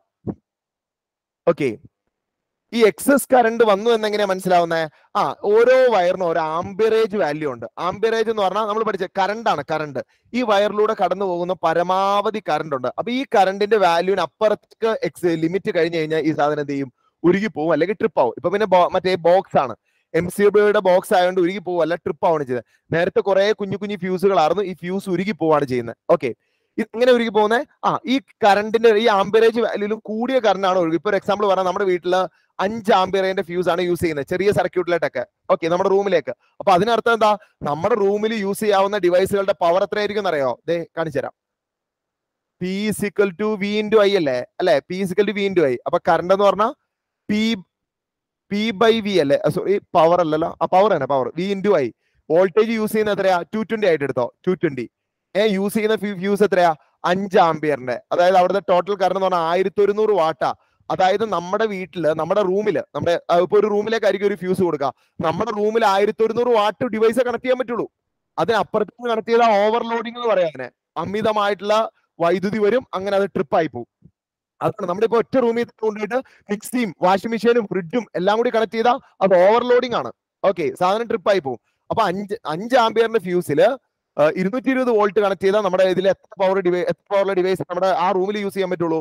ആയിരത്തി ഒരുന്നൂറ് വാട്ടിന്റെ പക്ഷെ ചിലതിന് കൂടുതൽ പവറുള്ള വേണ്ടി വരും. ഒരു എക്സാമ്പിൾ പറയുകയാണെങ്കിൽ എ സി എ സിക്ക് വേറെ ഫ്യൂസാണ് വേറെ പതിനഞ്ച് ആംബിയറിന്റെ ഫ്യൂസാണ് യൂസ് ചെയ്യുന്നത്. കാരണം അതിന് കൂടുതൽ കറണ്ട് വേണം. അതിന് ഫൈവ് ആംബിയറിന്റെ പോരാ. ഓക്കെ അപ്പൊ രണ്ട് സർക്യൂട്ട് ഉണ്ടാവും. അഞ്ച് സർക്യൂട്ട് ഉണ്ടാവും പതിനഞ്ച് ആംബിയറിന്റെ സർക്യൂട്ട് ഉണ്ടാവും. ഓക്കെ ജസ്റ്റ് ഒന്ന് അറിഞ്ഞിരിക്കാൻ വേണ്ടി പറഞ്ഞുള്ളൂ നമ്മളിപ്പോ പറഞ്ഞിപ്പോ എന്താ? ആ എക്സസ് കറണ്ട് വന്നു കഴിഞ്ഞാൽ ഫ്യൂസ് വയർ മെൽറ്റ് ആവോ ട്രിപ്പ് ആവോ ചെയ്യും. ഓക്കെ ഇനി ഈ ഫ്യൂസിൽ തന്നെ നമുക്കിനി വേറെ എക്സ്ട്രാ പറയുന്നത് എന്തുകൊണ്ട് എക്സസ് കറണ്ട് കയറി വരുന്നു? അതിന് രണ്ട് റീസൺ ആണ് പറയുന്നത്. എക്സസ് കറണ്ട് കയറി വരാൻ വേണ്ടിയിട്ടുള്ള രണ്ട് റീസണിൽ ഒന്നാണ് ഓവർലോഡിങ് രണ്ട് ഷോർട്ട് സർക്യൂട്ട് ഓവർലോഡിങ് ഞാൻ ഇപ്പൊ പറഞ്ഞ പോലെ തന്നെയാണ്. അതായത് ഒരു സർക്യൂട്ടിൽ താങ്ങാവുന്നതിലും കൂടുതൽ പവർ ഉള്ള ഡിവൈസ് കണക്ട് ചെയ്യുന്നതിനെയാണ് ഓവർലോഡിങ് എന്ന് പറയുന്നത്. ഓക്കെ മറ്റത് ഷോർട്ട് സർക്യൂട്ട് ഷോർട്ട് സർക്യൂട്ട് എന്നത് പറഞ്ഞുതരാവേ? ഓക്കെ അപ്പൊ അതായത് ടോട്ടൽ പവർ നമ്മൾ യൂസ് ചെയ്യുന്ന പവർ കൂടുതൽ ഡിവൈസ് കണക്ട് ചെയ്യുന്നത് ഓവർലോഡിംഗ് എന്ന് പറയരുത് കേട്ടോ കാരണം ഒരു പത്ത് വാൾട്ടിന്റെ ഒരു നൂറ് ബൾബ് കണക്ട് ചെയ്താൽ എന്താ കുഴപ്പം? പത്ത് വാൾട്ടിന്റെ പത്ത് ബൾബ് കണക്ട് ചെയ്താൽ എത്രയായി? നൂറായി. നൂറ് ബൾബ് കണക്ട് ചെയ്താൽ ആയിരം ആവുള്ളൂ. അപ്പൊ കൂടുതൽ ഡിവൈസ് എന്നല്ല പറയണ്ടേ?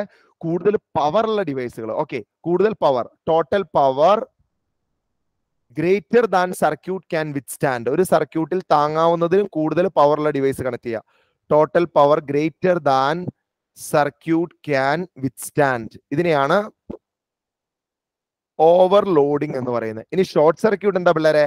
ആ ടു രണ്ട് ലൈവ് വയറുകൾ തമ്മിൽ അല്ലെങ്കിൽ ഒരു ഫേസ് ന്യൂട്രൽ തമ്മിലോ കോണ്ടാക്ട് വരിക without resistance to live wire or positive negative terminals of battery positive negative terminals of battery come into contact without resistance resistance ഇല്ലാണ്ട് ഇതിൽ കോണ്ടാക്റ്റിൽ വരിക come into contact without resistance okay ഇപ്പൊ നമ്മുടെ വീട്ടിലായിട്ടാണെങ്കിൽ തന്നെ connection എടുക്കുന്ന ഒരു ഫേസ് വയറിൽ നിന്ന് ഒരു ന്യൂട്രൽ വയറിൽ നിന്നും ആയിരിക്കും. ഒരു ഫേസ് വയർ പോകുന്നുണ്ട് ഒരു ന്യൂട്രൽ വയർ പോകുന്നുണ്ട്. ഓക്കെ നമ്മുടെ വീട്. ഓക്കെ അപ്പൊ നമ്മുടെ വീട്ടിലായിട്ട് കണക്ഷൻ എടുക്കുന്നത് ഇങ്ങനെ ഒരു ഒരു ഫേസ് വയറിൽ നിന്നും ഒരു ന്യൂട്രൽ വയറിൽ നിന്നും ആയിരിക്കും അല്ലെ? അപ്പൊ സ്വാഭാവികമായിട്ട് ഇവർ തമ്മിൽ ഒരു കണക്ഷൻ ഉണ്ടല്ലോ. ഫേസ് ന്യൂട്രലും തമ്മിൽ ഒരു കണക്ഷൻ ഉണ്ട്. ഇത് കുഴപ്പമില്ല. ഇത് എന്തുകൊണ്ടാണ് കുഴപ്പമില്ലാത്ത കാരണം നമ്മുടെ വീട്ടിൽ ഒരുപാട് ഡിവൈസുകൾ വർക്ക് ചെയ്യുന്നുണ്ട്. അവിടെ റെസിസ്റ്റൻസ് വരുന്നുണ്ട്. ലോഡ് വരുന്നുണ്ട്. ഇതൊന്നും ഇല്ലാണ്ട് വല്ല റബ്ബറിന്റെ ശിഖരം ചാടിയിട്ടോ എന്തെങ്കിലും സംഭവിച്ചിട്ട് ഈ വയറുകൾ തമ്മിൽ ഡയറക്റ്റ് കോൺടാക്ട് വരിക. അതാണ് ഷോർട്ട് സർക്യൂട്ട് ഉണ്ടായി തീപിടുത്തം ഉണ്ടായി എന്നൊക്കെ പറയില്ലേ? ഡയറക്റ്റ് കോൺടാക്ട് വരുന്നതിനെയാണ് ഷോർട്ട് സർക്യൂട്ട് എന്ന് പറയുന്നത്. ഇത് ഈ ലൈൻ കമ്പിയിൽ മാത്രമല്ല. ഇൻ കേസ് നമ്മുടെ വീട്ടിലുള്ള നമ്മുടെ വീട്ടിലുള്ള ഈ രണ്ട് വയറുകൾ കാരണം എന്തെങ്കിലും കോൺടാക്ട് വരിക. ഇൻസുലേഷൻ പോയിട്ടേ ഫേസ് വയർ നോട്ടിൽ വയറോ അല്ലെങ്കിൽ രണ്ട് തമ്മിൽ എന്ത് ചെയ്യുക? ഡയറക്റ്റ് കോൺടാക്ട് വരുന്നതിനെയാണെന്ന് പറയുന്നത് ഷോർട്ട് സർക്യൂട്ട് അപ്പോൾ ഇവർ ഒരു കോൺടാക്ട് ഉണ്ട്. പക്ഷെ അത് റെസിസ്റ്റൻസ് ഉണ്ടെങ്കിൽ കുഴപ്പമില്ല. ഇടയ്ക്ക് ലോഡ് വരുന്നുണ്ടെങ്കിൽ കുഴപ്പമില്ല. ഓക്കെ അല്ലെങ്കിൽ എന്താ സംഭവിക്കുന്നത് ആ കുറെ സാധനങ്ങളായിട്ട് ഓടുന്ന ഒരാൾ ചുമ്മാ ഓടുമ്പോൾ എന്തായിരിക്കും? അവർ അത്ര പവർഫുൾ ആയിരിക്കും എന്ന് പറഞ്ഞ പോലെയാണ്. ഈ റെസിസ്റ്റൻസ് ഒന്നും ഇല്ലാണ്ട് ഈ കറണ്ട് വരുമ്പോൾ എന്ത് ചെയ്യും? കൂടുതൽ അപകടമാണ്. കാരണം കൂടുതൽ ഹീറ്റ് ഉണ്ടാവും അല്ലേ? ഓക്കെ കൂടുതൽ ഹീറ്റ് അവിടെ ഉണ്ടാവും. ഓക്കെ അതാണ് ഷോർട്ട് സർക്യൂട്ട് അപ്പൊ ഷോർട്ട് സർക്യൂട്ട് എന്ന് പറഞ്ഞാൽ എന്താ?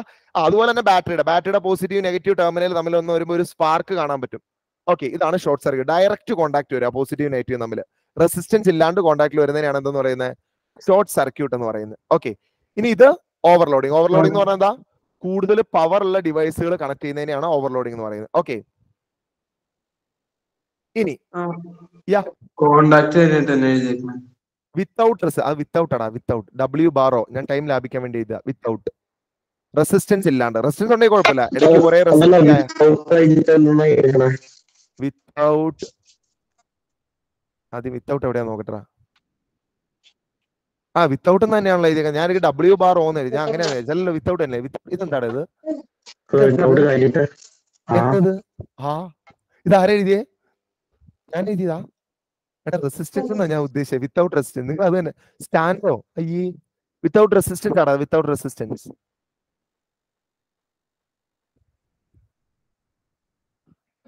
okay direct contact വരിക. ഈ രണ്ട് വയറുകൾ തമ്മിൽ ഡയറക്റ്റ് കോണ്ടാക്ട് വരുന്നതാണ് ഷോർട്ട് സർക്യൂട്ട് കേട്ടോ അതിപ്പോ പല കാരണമുണ്ട്. ഇപ്പൊ ലൈംഗമ്പിയിലൊക്കെയാണ് എന്തെങ്കിലും വന്ന് മറിഞ്ഞാടിയിട്ടൊക്കെ ആയിരിക്കും. ഇപ്പൊ നമ്മുടെ വീട്ടിലൊക്കെ ആണെങ്കിൽ എന്തെങ്കിലുമൊക്കെ ഇൻസുലേഷൻ തകരാറ് ആയിട്ട് ഫേസിൽ നിൽക്കുന്ന വയറും ന്യൂട്രലിൽ നിന്ന് എടുക്കുന്ന വയറും തമ്മിൽ ഒരസുക. ഓക്കെ കോണ്ടാക്ട് വരിക. ഇനി അപ്പൊ ഇത്രയാണ് ഷോർട്ട് ഇത് വരാനുള്ള കാരണം ഓവർലോഡിങ് സേഫ്റ്റി ഇതൊക്കെ പറഞ്ഞല്ലോ. ഇനി നെക്സ്റ്റ് പവർ എങ്ങനെ എനർജി കാൽക്കുലേറ്റ് ചെയ്യും? ഇത്രേ ഉള്ളടാ. ഈ രണ്ട് എഫക്റ്റ് ഉള്ളൂ. അല്ല ലൈറ്റിംഗ് എഫക്റ്റ് പറഞ്ഞോ? അയ്യോ lighting effect പറയാനല്ലേ? Filament lamp. Filament ലാമ്പിൽ യൂസ് ചെയ്യുന്ന ഫിലമെന്റ് ആണ് അല്ലെ? ഫിലമെന്റ് ലാമ്പിന്റെ മെയിൻ പാർട്ട് എന്ന് പറഞ്ഞാൽ അവിടെ യൂസ് ചെയ്യുന്ന ഫിലമെന്റ് ആണ്. ഫിലമെന്റ്. ഓക്കെ ആ ഫിലമെന്റ് ഉണ്ടാക്കുന്ന മെറ്റീരിയൽ എന്ന് പറയുന്നത് ടങ്സ്റ്റൺ ആണ്. ടങ്സ്റ്റണും നിക്രോമിനുള്ള അഡ്വാന്റേജ് ഒക്കെ ടങ്സ്റ്റണും ഉണ്ട്. അതായത് ടങ്സ്റ്റൺ ഉപയോഗിച്ച് ടങ്സ്റ്റൺ ഹൈ മെൽറ്റിംഗ് പോയിന്റ് ഉണ്ട്. ഹൈ മെൽറ്റിംഗ് പോയിന്റ് ഉണ്ട്. അതുപോലെ ടങ്സ്റ്റൺ ഹൈ റെസിസ്റ്റിവിറ്റി ഉണ്ട്. ഇതെല്ലാം ഉണ്ട്. പക്ഷെ അത് വൈറ്റ് ലൈറ്റ് എമിറ്റ് ചെയ്യും. നിക്രോമിന് അതില്ല. കേട്ടോ? എമിറ്റ് വൈറ്റ് ലൈറ്റ് അങ്ങനെ ഒരു അഡ്വാന്റേജ് കൂടി ടങ്സ് ഉണ്ട്. അതായത് അങ്ങനെ ചുട്ടു പഴുത്ത് വൈറ്റ് ഹോട്ട് ആവുന്ന പറയാം. എന്നിട്ട് അതിൽ നിന്ന് ലൈറ്റ് പുറത്തു വരും. എമിറ്റ് വൈറ്റ് ലൈറ്റ് ഇതാണ് എനർജി കൺവേർഷനുമായിട്ട് ബന്ധപ്പെട്ട് നമുക്ക് പഠിക്കാനുള്ള അപ്പൊ രണ്ട് തരം എഫക്റ്റുകൾ ഉണ്ടെന്ന് അറിഞ്ഞിരിക്കുക. ഹീറ്റിംഗ് എഫക്റ്റ് ലൈറ്റിംഗ് എഫക്റ്റ് ആണ്. ഹീറ്റിംഗ് എഫക്റ്റിന്റെ ആപ്ലിക്കേഷൻ വരുന്നതാണ് ഹീറ്റിംഗ് ഡിവൈസും അതുപോലെ സേഫ്റ്റി ഫ്യൂസും ഹീറ്റിംഗ് ഡിവൈസ് ആയിട്ട് ഉപയോഗിക്കുന്ന മെയിൻ പാർട്ട് എന്ന് പറയുന്നത് ഹീറ്റിംഗ് കോയിലാണ് അത് ഉണ്ടാക്കുന്ന മെറ്റീരിയൽ നിക്രോം ആണ്. നിക്രോം എന്ന് പറഞ്ഞ ഒരു അലോയി ആണ്. ഒന്നിൽ കൂടുതൽ മെറ്റൽ വെച്ച് ഉണ്ടാക്കുന്നതാണ്. നിക്കൽ ക്രോമിയം മാംഗനീസ് ഒക്കെ വെച്ചിട്ട് ഉണ്ടാക്കുന്നതാണ്. അതുപോലെ അതിന്റെ അഡ്വാന്റേജ് അറിഞ്ഞിരിക്കുക സേഫ്റ്റി ഫ്യൂസ് സേഫ്റ്റി ഫ്യൂസ് എന്ന് പറഞ്ഞാൽ ഫ്യൂസ് വെയർ ഉരുകി പോവോ അല്ലെങ്കിൽ ഫ്യൂസ് ട്രിപ്പ് ആവുകയാണ് ചെയ്യുക. എപ്പോഴാണ് ഫ്യൂസ് ട്രിപ്പ് ആവുക? അമിത വൈദ്യുതി വരുമ്പോൾ അമിത വൈദ്യുതി വരാനുള്ള റീസൺ എന്താ? ഒന്നല്ലെങ്കിൽ നമ്മൾ പവർ കൂടിയ ഡിവൈസുകൾ യൂസ് ചെയ്യുക അല്ലെങ്കിൽ അവിടെ ഷോർട്ട് സർക്യൂട്ട് ഉണ്ടാവുക. ഓക്കെ ഇനി അടുത്തതാണ് ആപ്ലിക്കേഷൻ ഫിലമെന്റ് ലാമ്പ് ഫിലമെന്റ് ലാമ്പിന്റെ ആപ്ലിക്കേഷൻ ആണ് സോറി ലൈറ്റിംഗ് എഫക്റ്റിന്റെ ആപ്ലിക്കേഷൻ ആണ് ഫിലമെന്റ് ലാമ്പ് അത് ഫിലമെന്റ് ആണ് യൂസ് ചെയ്യുന്ന മെയിൻ പാർട്ട് അതിന്റെ അഡ്വാന്റേജസ് എഴുതിയിട്ടുണ്ട്. ഓക്കെ ഇനിയുണ്ടല്ലേ ഈ ഈ രണ്ട് എഫക്റ്റ് മാത്രമല്ല കേട്ടോ. നമ്മുടെ സിലബസിൽ ഇത് രണ്ടുള്ളൂ അതുകൊണ്ട് പറഞ്ഞോളൂ വേറെ എഫക്റ്റ് ഉണ്ട്. മാഗ്നറ്റിക് എഫക്റ്റ് ഉണ്ട് അടുത്ത ചാപ്റ്റർ ശരിയല്ലേ? കെമിക്കൽ എഫക്റ്റ് ഉണ്ട്. കെമിസ്ട്രി പഠിക്കും. ഇലക്ട്രിസിറ്റിന്ന് കെമിക്കൽ റിയാക്ഷൻ നടത്തും. കെമിക്കൽ റിയാക്ഷൻ നടത്തിയിട്ട് ഇലക്ട്രിസിറ്റി ഉണ്ടാക്കും. രണ്ട് ചെയ്യും. കെമിക്കൽ റിയാക്ഷൻ നടത്തി ഇലക്ട്രിസിറ്റി ഉണ്ടാക്കാൻ പറ്റും. ഇലക്ട്രിസിറ്റിന്ന് കെമിക്കൽ റിയാക്ഷൻ നടത്താൻ പറ്റും. ഇലക്ട്രോളിറ്റ് ഇലക്ട്രോളിറ്റിക് സെൽ അല്ലെ? ഇലക്ട്രോളിസിസ് അല്ലെങ്കിൽ ഗാൽവാനിക് സെൽ ഇലക്ട്രോ കേട്ടിട്ടൊന്നും ഉണ്ടാവില്ലായിരിക്കും അല്ലെ? കേട്ടിട്ടാണ് എങ്ങനെ ഇരിക്കുന്നത്? Okay next one next one ആണ് എനർജി എങ്ങനെ കാൽക്കുലേറ്റ് ചെയ്യും? എനർജി കാൽക്കുലേറ്റ് ചെയ്യാനുള്ള രണ്ട് മെത്തേഡ് ആണ്. ഒന്ന് ജൂൾസിലോ ഉപയോഗിച്ചിട്ട് എനർജി കാൽക്കുലേറ്റ് ചെയ്യും. എടാ ഇപ്പൊ തീരെ പേടിക്കണ്ട കേട്ടോ ഓക്കെ ജൂൾസിലോ ഉപയോഗിച്ച് അതായത് ജൂൾസിലോ ഉപയോഗിച്ച് എനർജി കാൽക്കുലേറ്റ് ചെയ്യാനുള്ള മൂന്ന് ഇക്വേഷൻ നമ്മൾ പഠിച്ചു നോക്കുകയാണെങ്കിൽ നല്ലതാണ്. H is equal to I square R T അതുപോലെ H is equal to V I T H is equal to V square by R into T ഇങ്ങനെ ഒരു മൂന്ന് ഇക്വേഷൻ പഠിച്ചു വെച്ചേ കേട്ടോ. H is equal to I square R T H is equal to V I T H is equal to V square by R into T next power power എന്ന് പറഞ്ഞാൽ എന്താണ് rate of work അല്ലേ? Work ചെയ്യുന്ന ആ എടാ ഈ പവറും സാധാരണ നമ്മൾ ജൂൾസിലോ വെച്ച് എനർജി കാൽക്കുലേറ്റ് ചെയ്യുന്നതും പവറിൽ നിന്ന് എനർജി കാൽക്കുലേറ്റ് ചെയ്യുന്ന തമ്മിൽ ഒരു വ്യത്യാസം ഉണ്ട് എന്താ പറയാ? പവറിൽ ഒരു സെക്കൻഡിൽ എനർജിയാണ് നമ്മൾ കാൽക്കുലേറ്റ് ചെയ്യുന്നത്. അതായത് പവർ എന്ന് പറയുന്നത് എന്താണ്? എനർജി ഇൻ വൺ സെക്കൻഡ് ആണ്. അല്ലെങ്കിൽ റേറ്റ് ഓഫ് വർക്ക് ഡൺ എന്നൊക്കെ പറയാം. ഒരു സെക്കൻഡിലെ എനർജിക്കാണ് പവർ അപ്പൊ ആ ടൈം അവിടെ നിന്ന് കളയാലോ? അല്ലെ? പിന്നെ ടൈം വേണ്ടല്ലോടാ? അല്ലെ? ടൈം എന്തിനാ? ടൈം വൺ സെക്കൻഡ് അല്ലേ? അപ്പൊ ഇന്റു വൺ ടൈം അവിടെ നിന്ന് പോകും അപ്പൊ പവറിന്റെ ഇക്വേഷൻ വരുമ്പോൾ എന്ത് ചെയ്യും? ആ ഈ ഐ സ്ക്വയർ ആർ ടിന്നും V ഐന്നും V square by R T എന്നൊക്കെ എന്ത് ചെയ്യാം? നമുക്ക് ആ ടൈമിനെ അങ്ങ് കളയാം. അപ്പൊ എന്ത് വരും പിള്ളേരെ? P is equal to I square R എന്ന് വരും. P is equal to V I very important power V I P okay അങ്ങനെയൊക്കെ ഓർത്തിരിക്കുക. മൂന്നാമത്തത് P is equal to V square by R എന്ന് വരും. ഇങ്ങനെ മൂന്ന് ഇക്വേഷൻ ആണ് അവിടെ വരുന്നത്. P is equal to I square R P is equal to V I P is equal to V square by R next ഇനി power കാണാനുള്ള ഒരു ഫോർമുല ഉണ്ട്. P is equal to energy by time എന്നൊരു equation കൂടി ഉണ്ട്. Energy or work done അങ്ങനെയും പറയാലോ.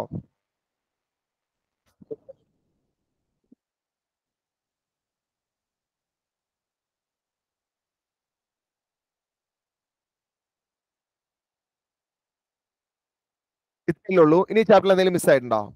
ഈ ചാപ്റ്ററിൽ എന്തെങ്കിലും പറയാൻ വിട്ടുപോയിട്ടുണ്ടോ? ഇല്ലല്ലോ? അർഫാൻ ഇല്ലാന്ന് പറയുന്നുണ്ട്. അർഫാൻ ഇല്ലല്ലോ? ഇല്ല. എടാ എനർജിയെ വേണമെങ്കിലേ നമുക്ക് ഒരു ഇക്വേഷൻ ഒരു ചെറിയൊരു കാര്യം ഇവിടെ എനർജി നമുക്ക് വേണമെങ്കിലേ ഈ ഇക്വേഷനിൽ നിന്ന് വേണമെങ്കിൽ കാൽക്കുലേറ്റ് ചെയ്യാം. എമൗണ്ട് ഓഫ് ചാർജ് ഒക്കെ തരികയാണെങ്കിൽ നമ്മൾ ഇവിടെ ഇക്വേഷൻ ചെയ്തല്ലോ ഇവിടെ നിന്ന് ഈ is equal to Q V കണ്ടോ? എമൗണ്ട് ഓഫ് ചാർജും വോൾട്ടേജും വെച്ചും വേണമെങ്കിൽ എന്ത് ചെയ്യാം? കണ്ടുപിടിക്കാം. അങ്ങനെ ഒരു ക്വസ്റ്റ്യൻ നമ്മുടെ ടെക്സ്റ്റിലുണ്ട് നമ്മൾ ചെയ്തിട്ടുണ്ട്. വേണമെങ്കിൽ അതും കൂടെ ഒന്ന് നോട്ട് ചെയ്തോ ഈ ഇസിക്കൽ ടു ക്യു വി സൈഡിൽ എവിടെയെങ്കിലും ഒന്ന് നോട്ട് ചെയ്താൽ മതി. അങ്ങനെ കണ്ടുപിടിക്കാം. എമൗണ്ട് ഓഫ് ചാർജും വോൾട്ടേജും തരുന്ന ഒരു ക്വസ്റ്റ്യൻ നമ്മുടെ ഇതിനകത്ത് ഇതിനകത്തുണ്ടായിരുന്നു അതിന് നമ്മൾ ഇങ്ങനെയാണ് പവർ കാൽക്കുലേറ്റ് ചെയ്തേക്കുന്നത്. ഇത്രയാണ് നമ്മുടെ ചാപ്റ്ററിൽ വരുന്ന ഡിസ്കഷൻ എന്ന് പറയുന്നത്. ഓക്കെ ഇനി എന്തെങ്കിലുമൊക്കെ ഡൗട്ട് ഉള്ളവർക്ക് നിൽക്കുക അല്ലാത്തവർക്ക് ലെഫ്റ്റ് ആവും. Okay thank you have nice day thank you sir thank you sir thank you sir. Thank you sir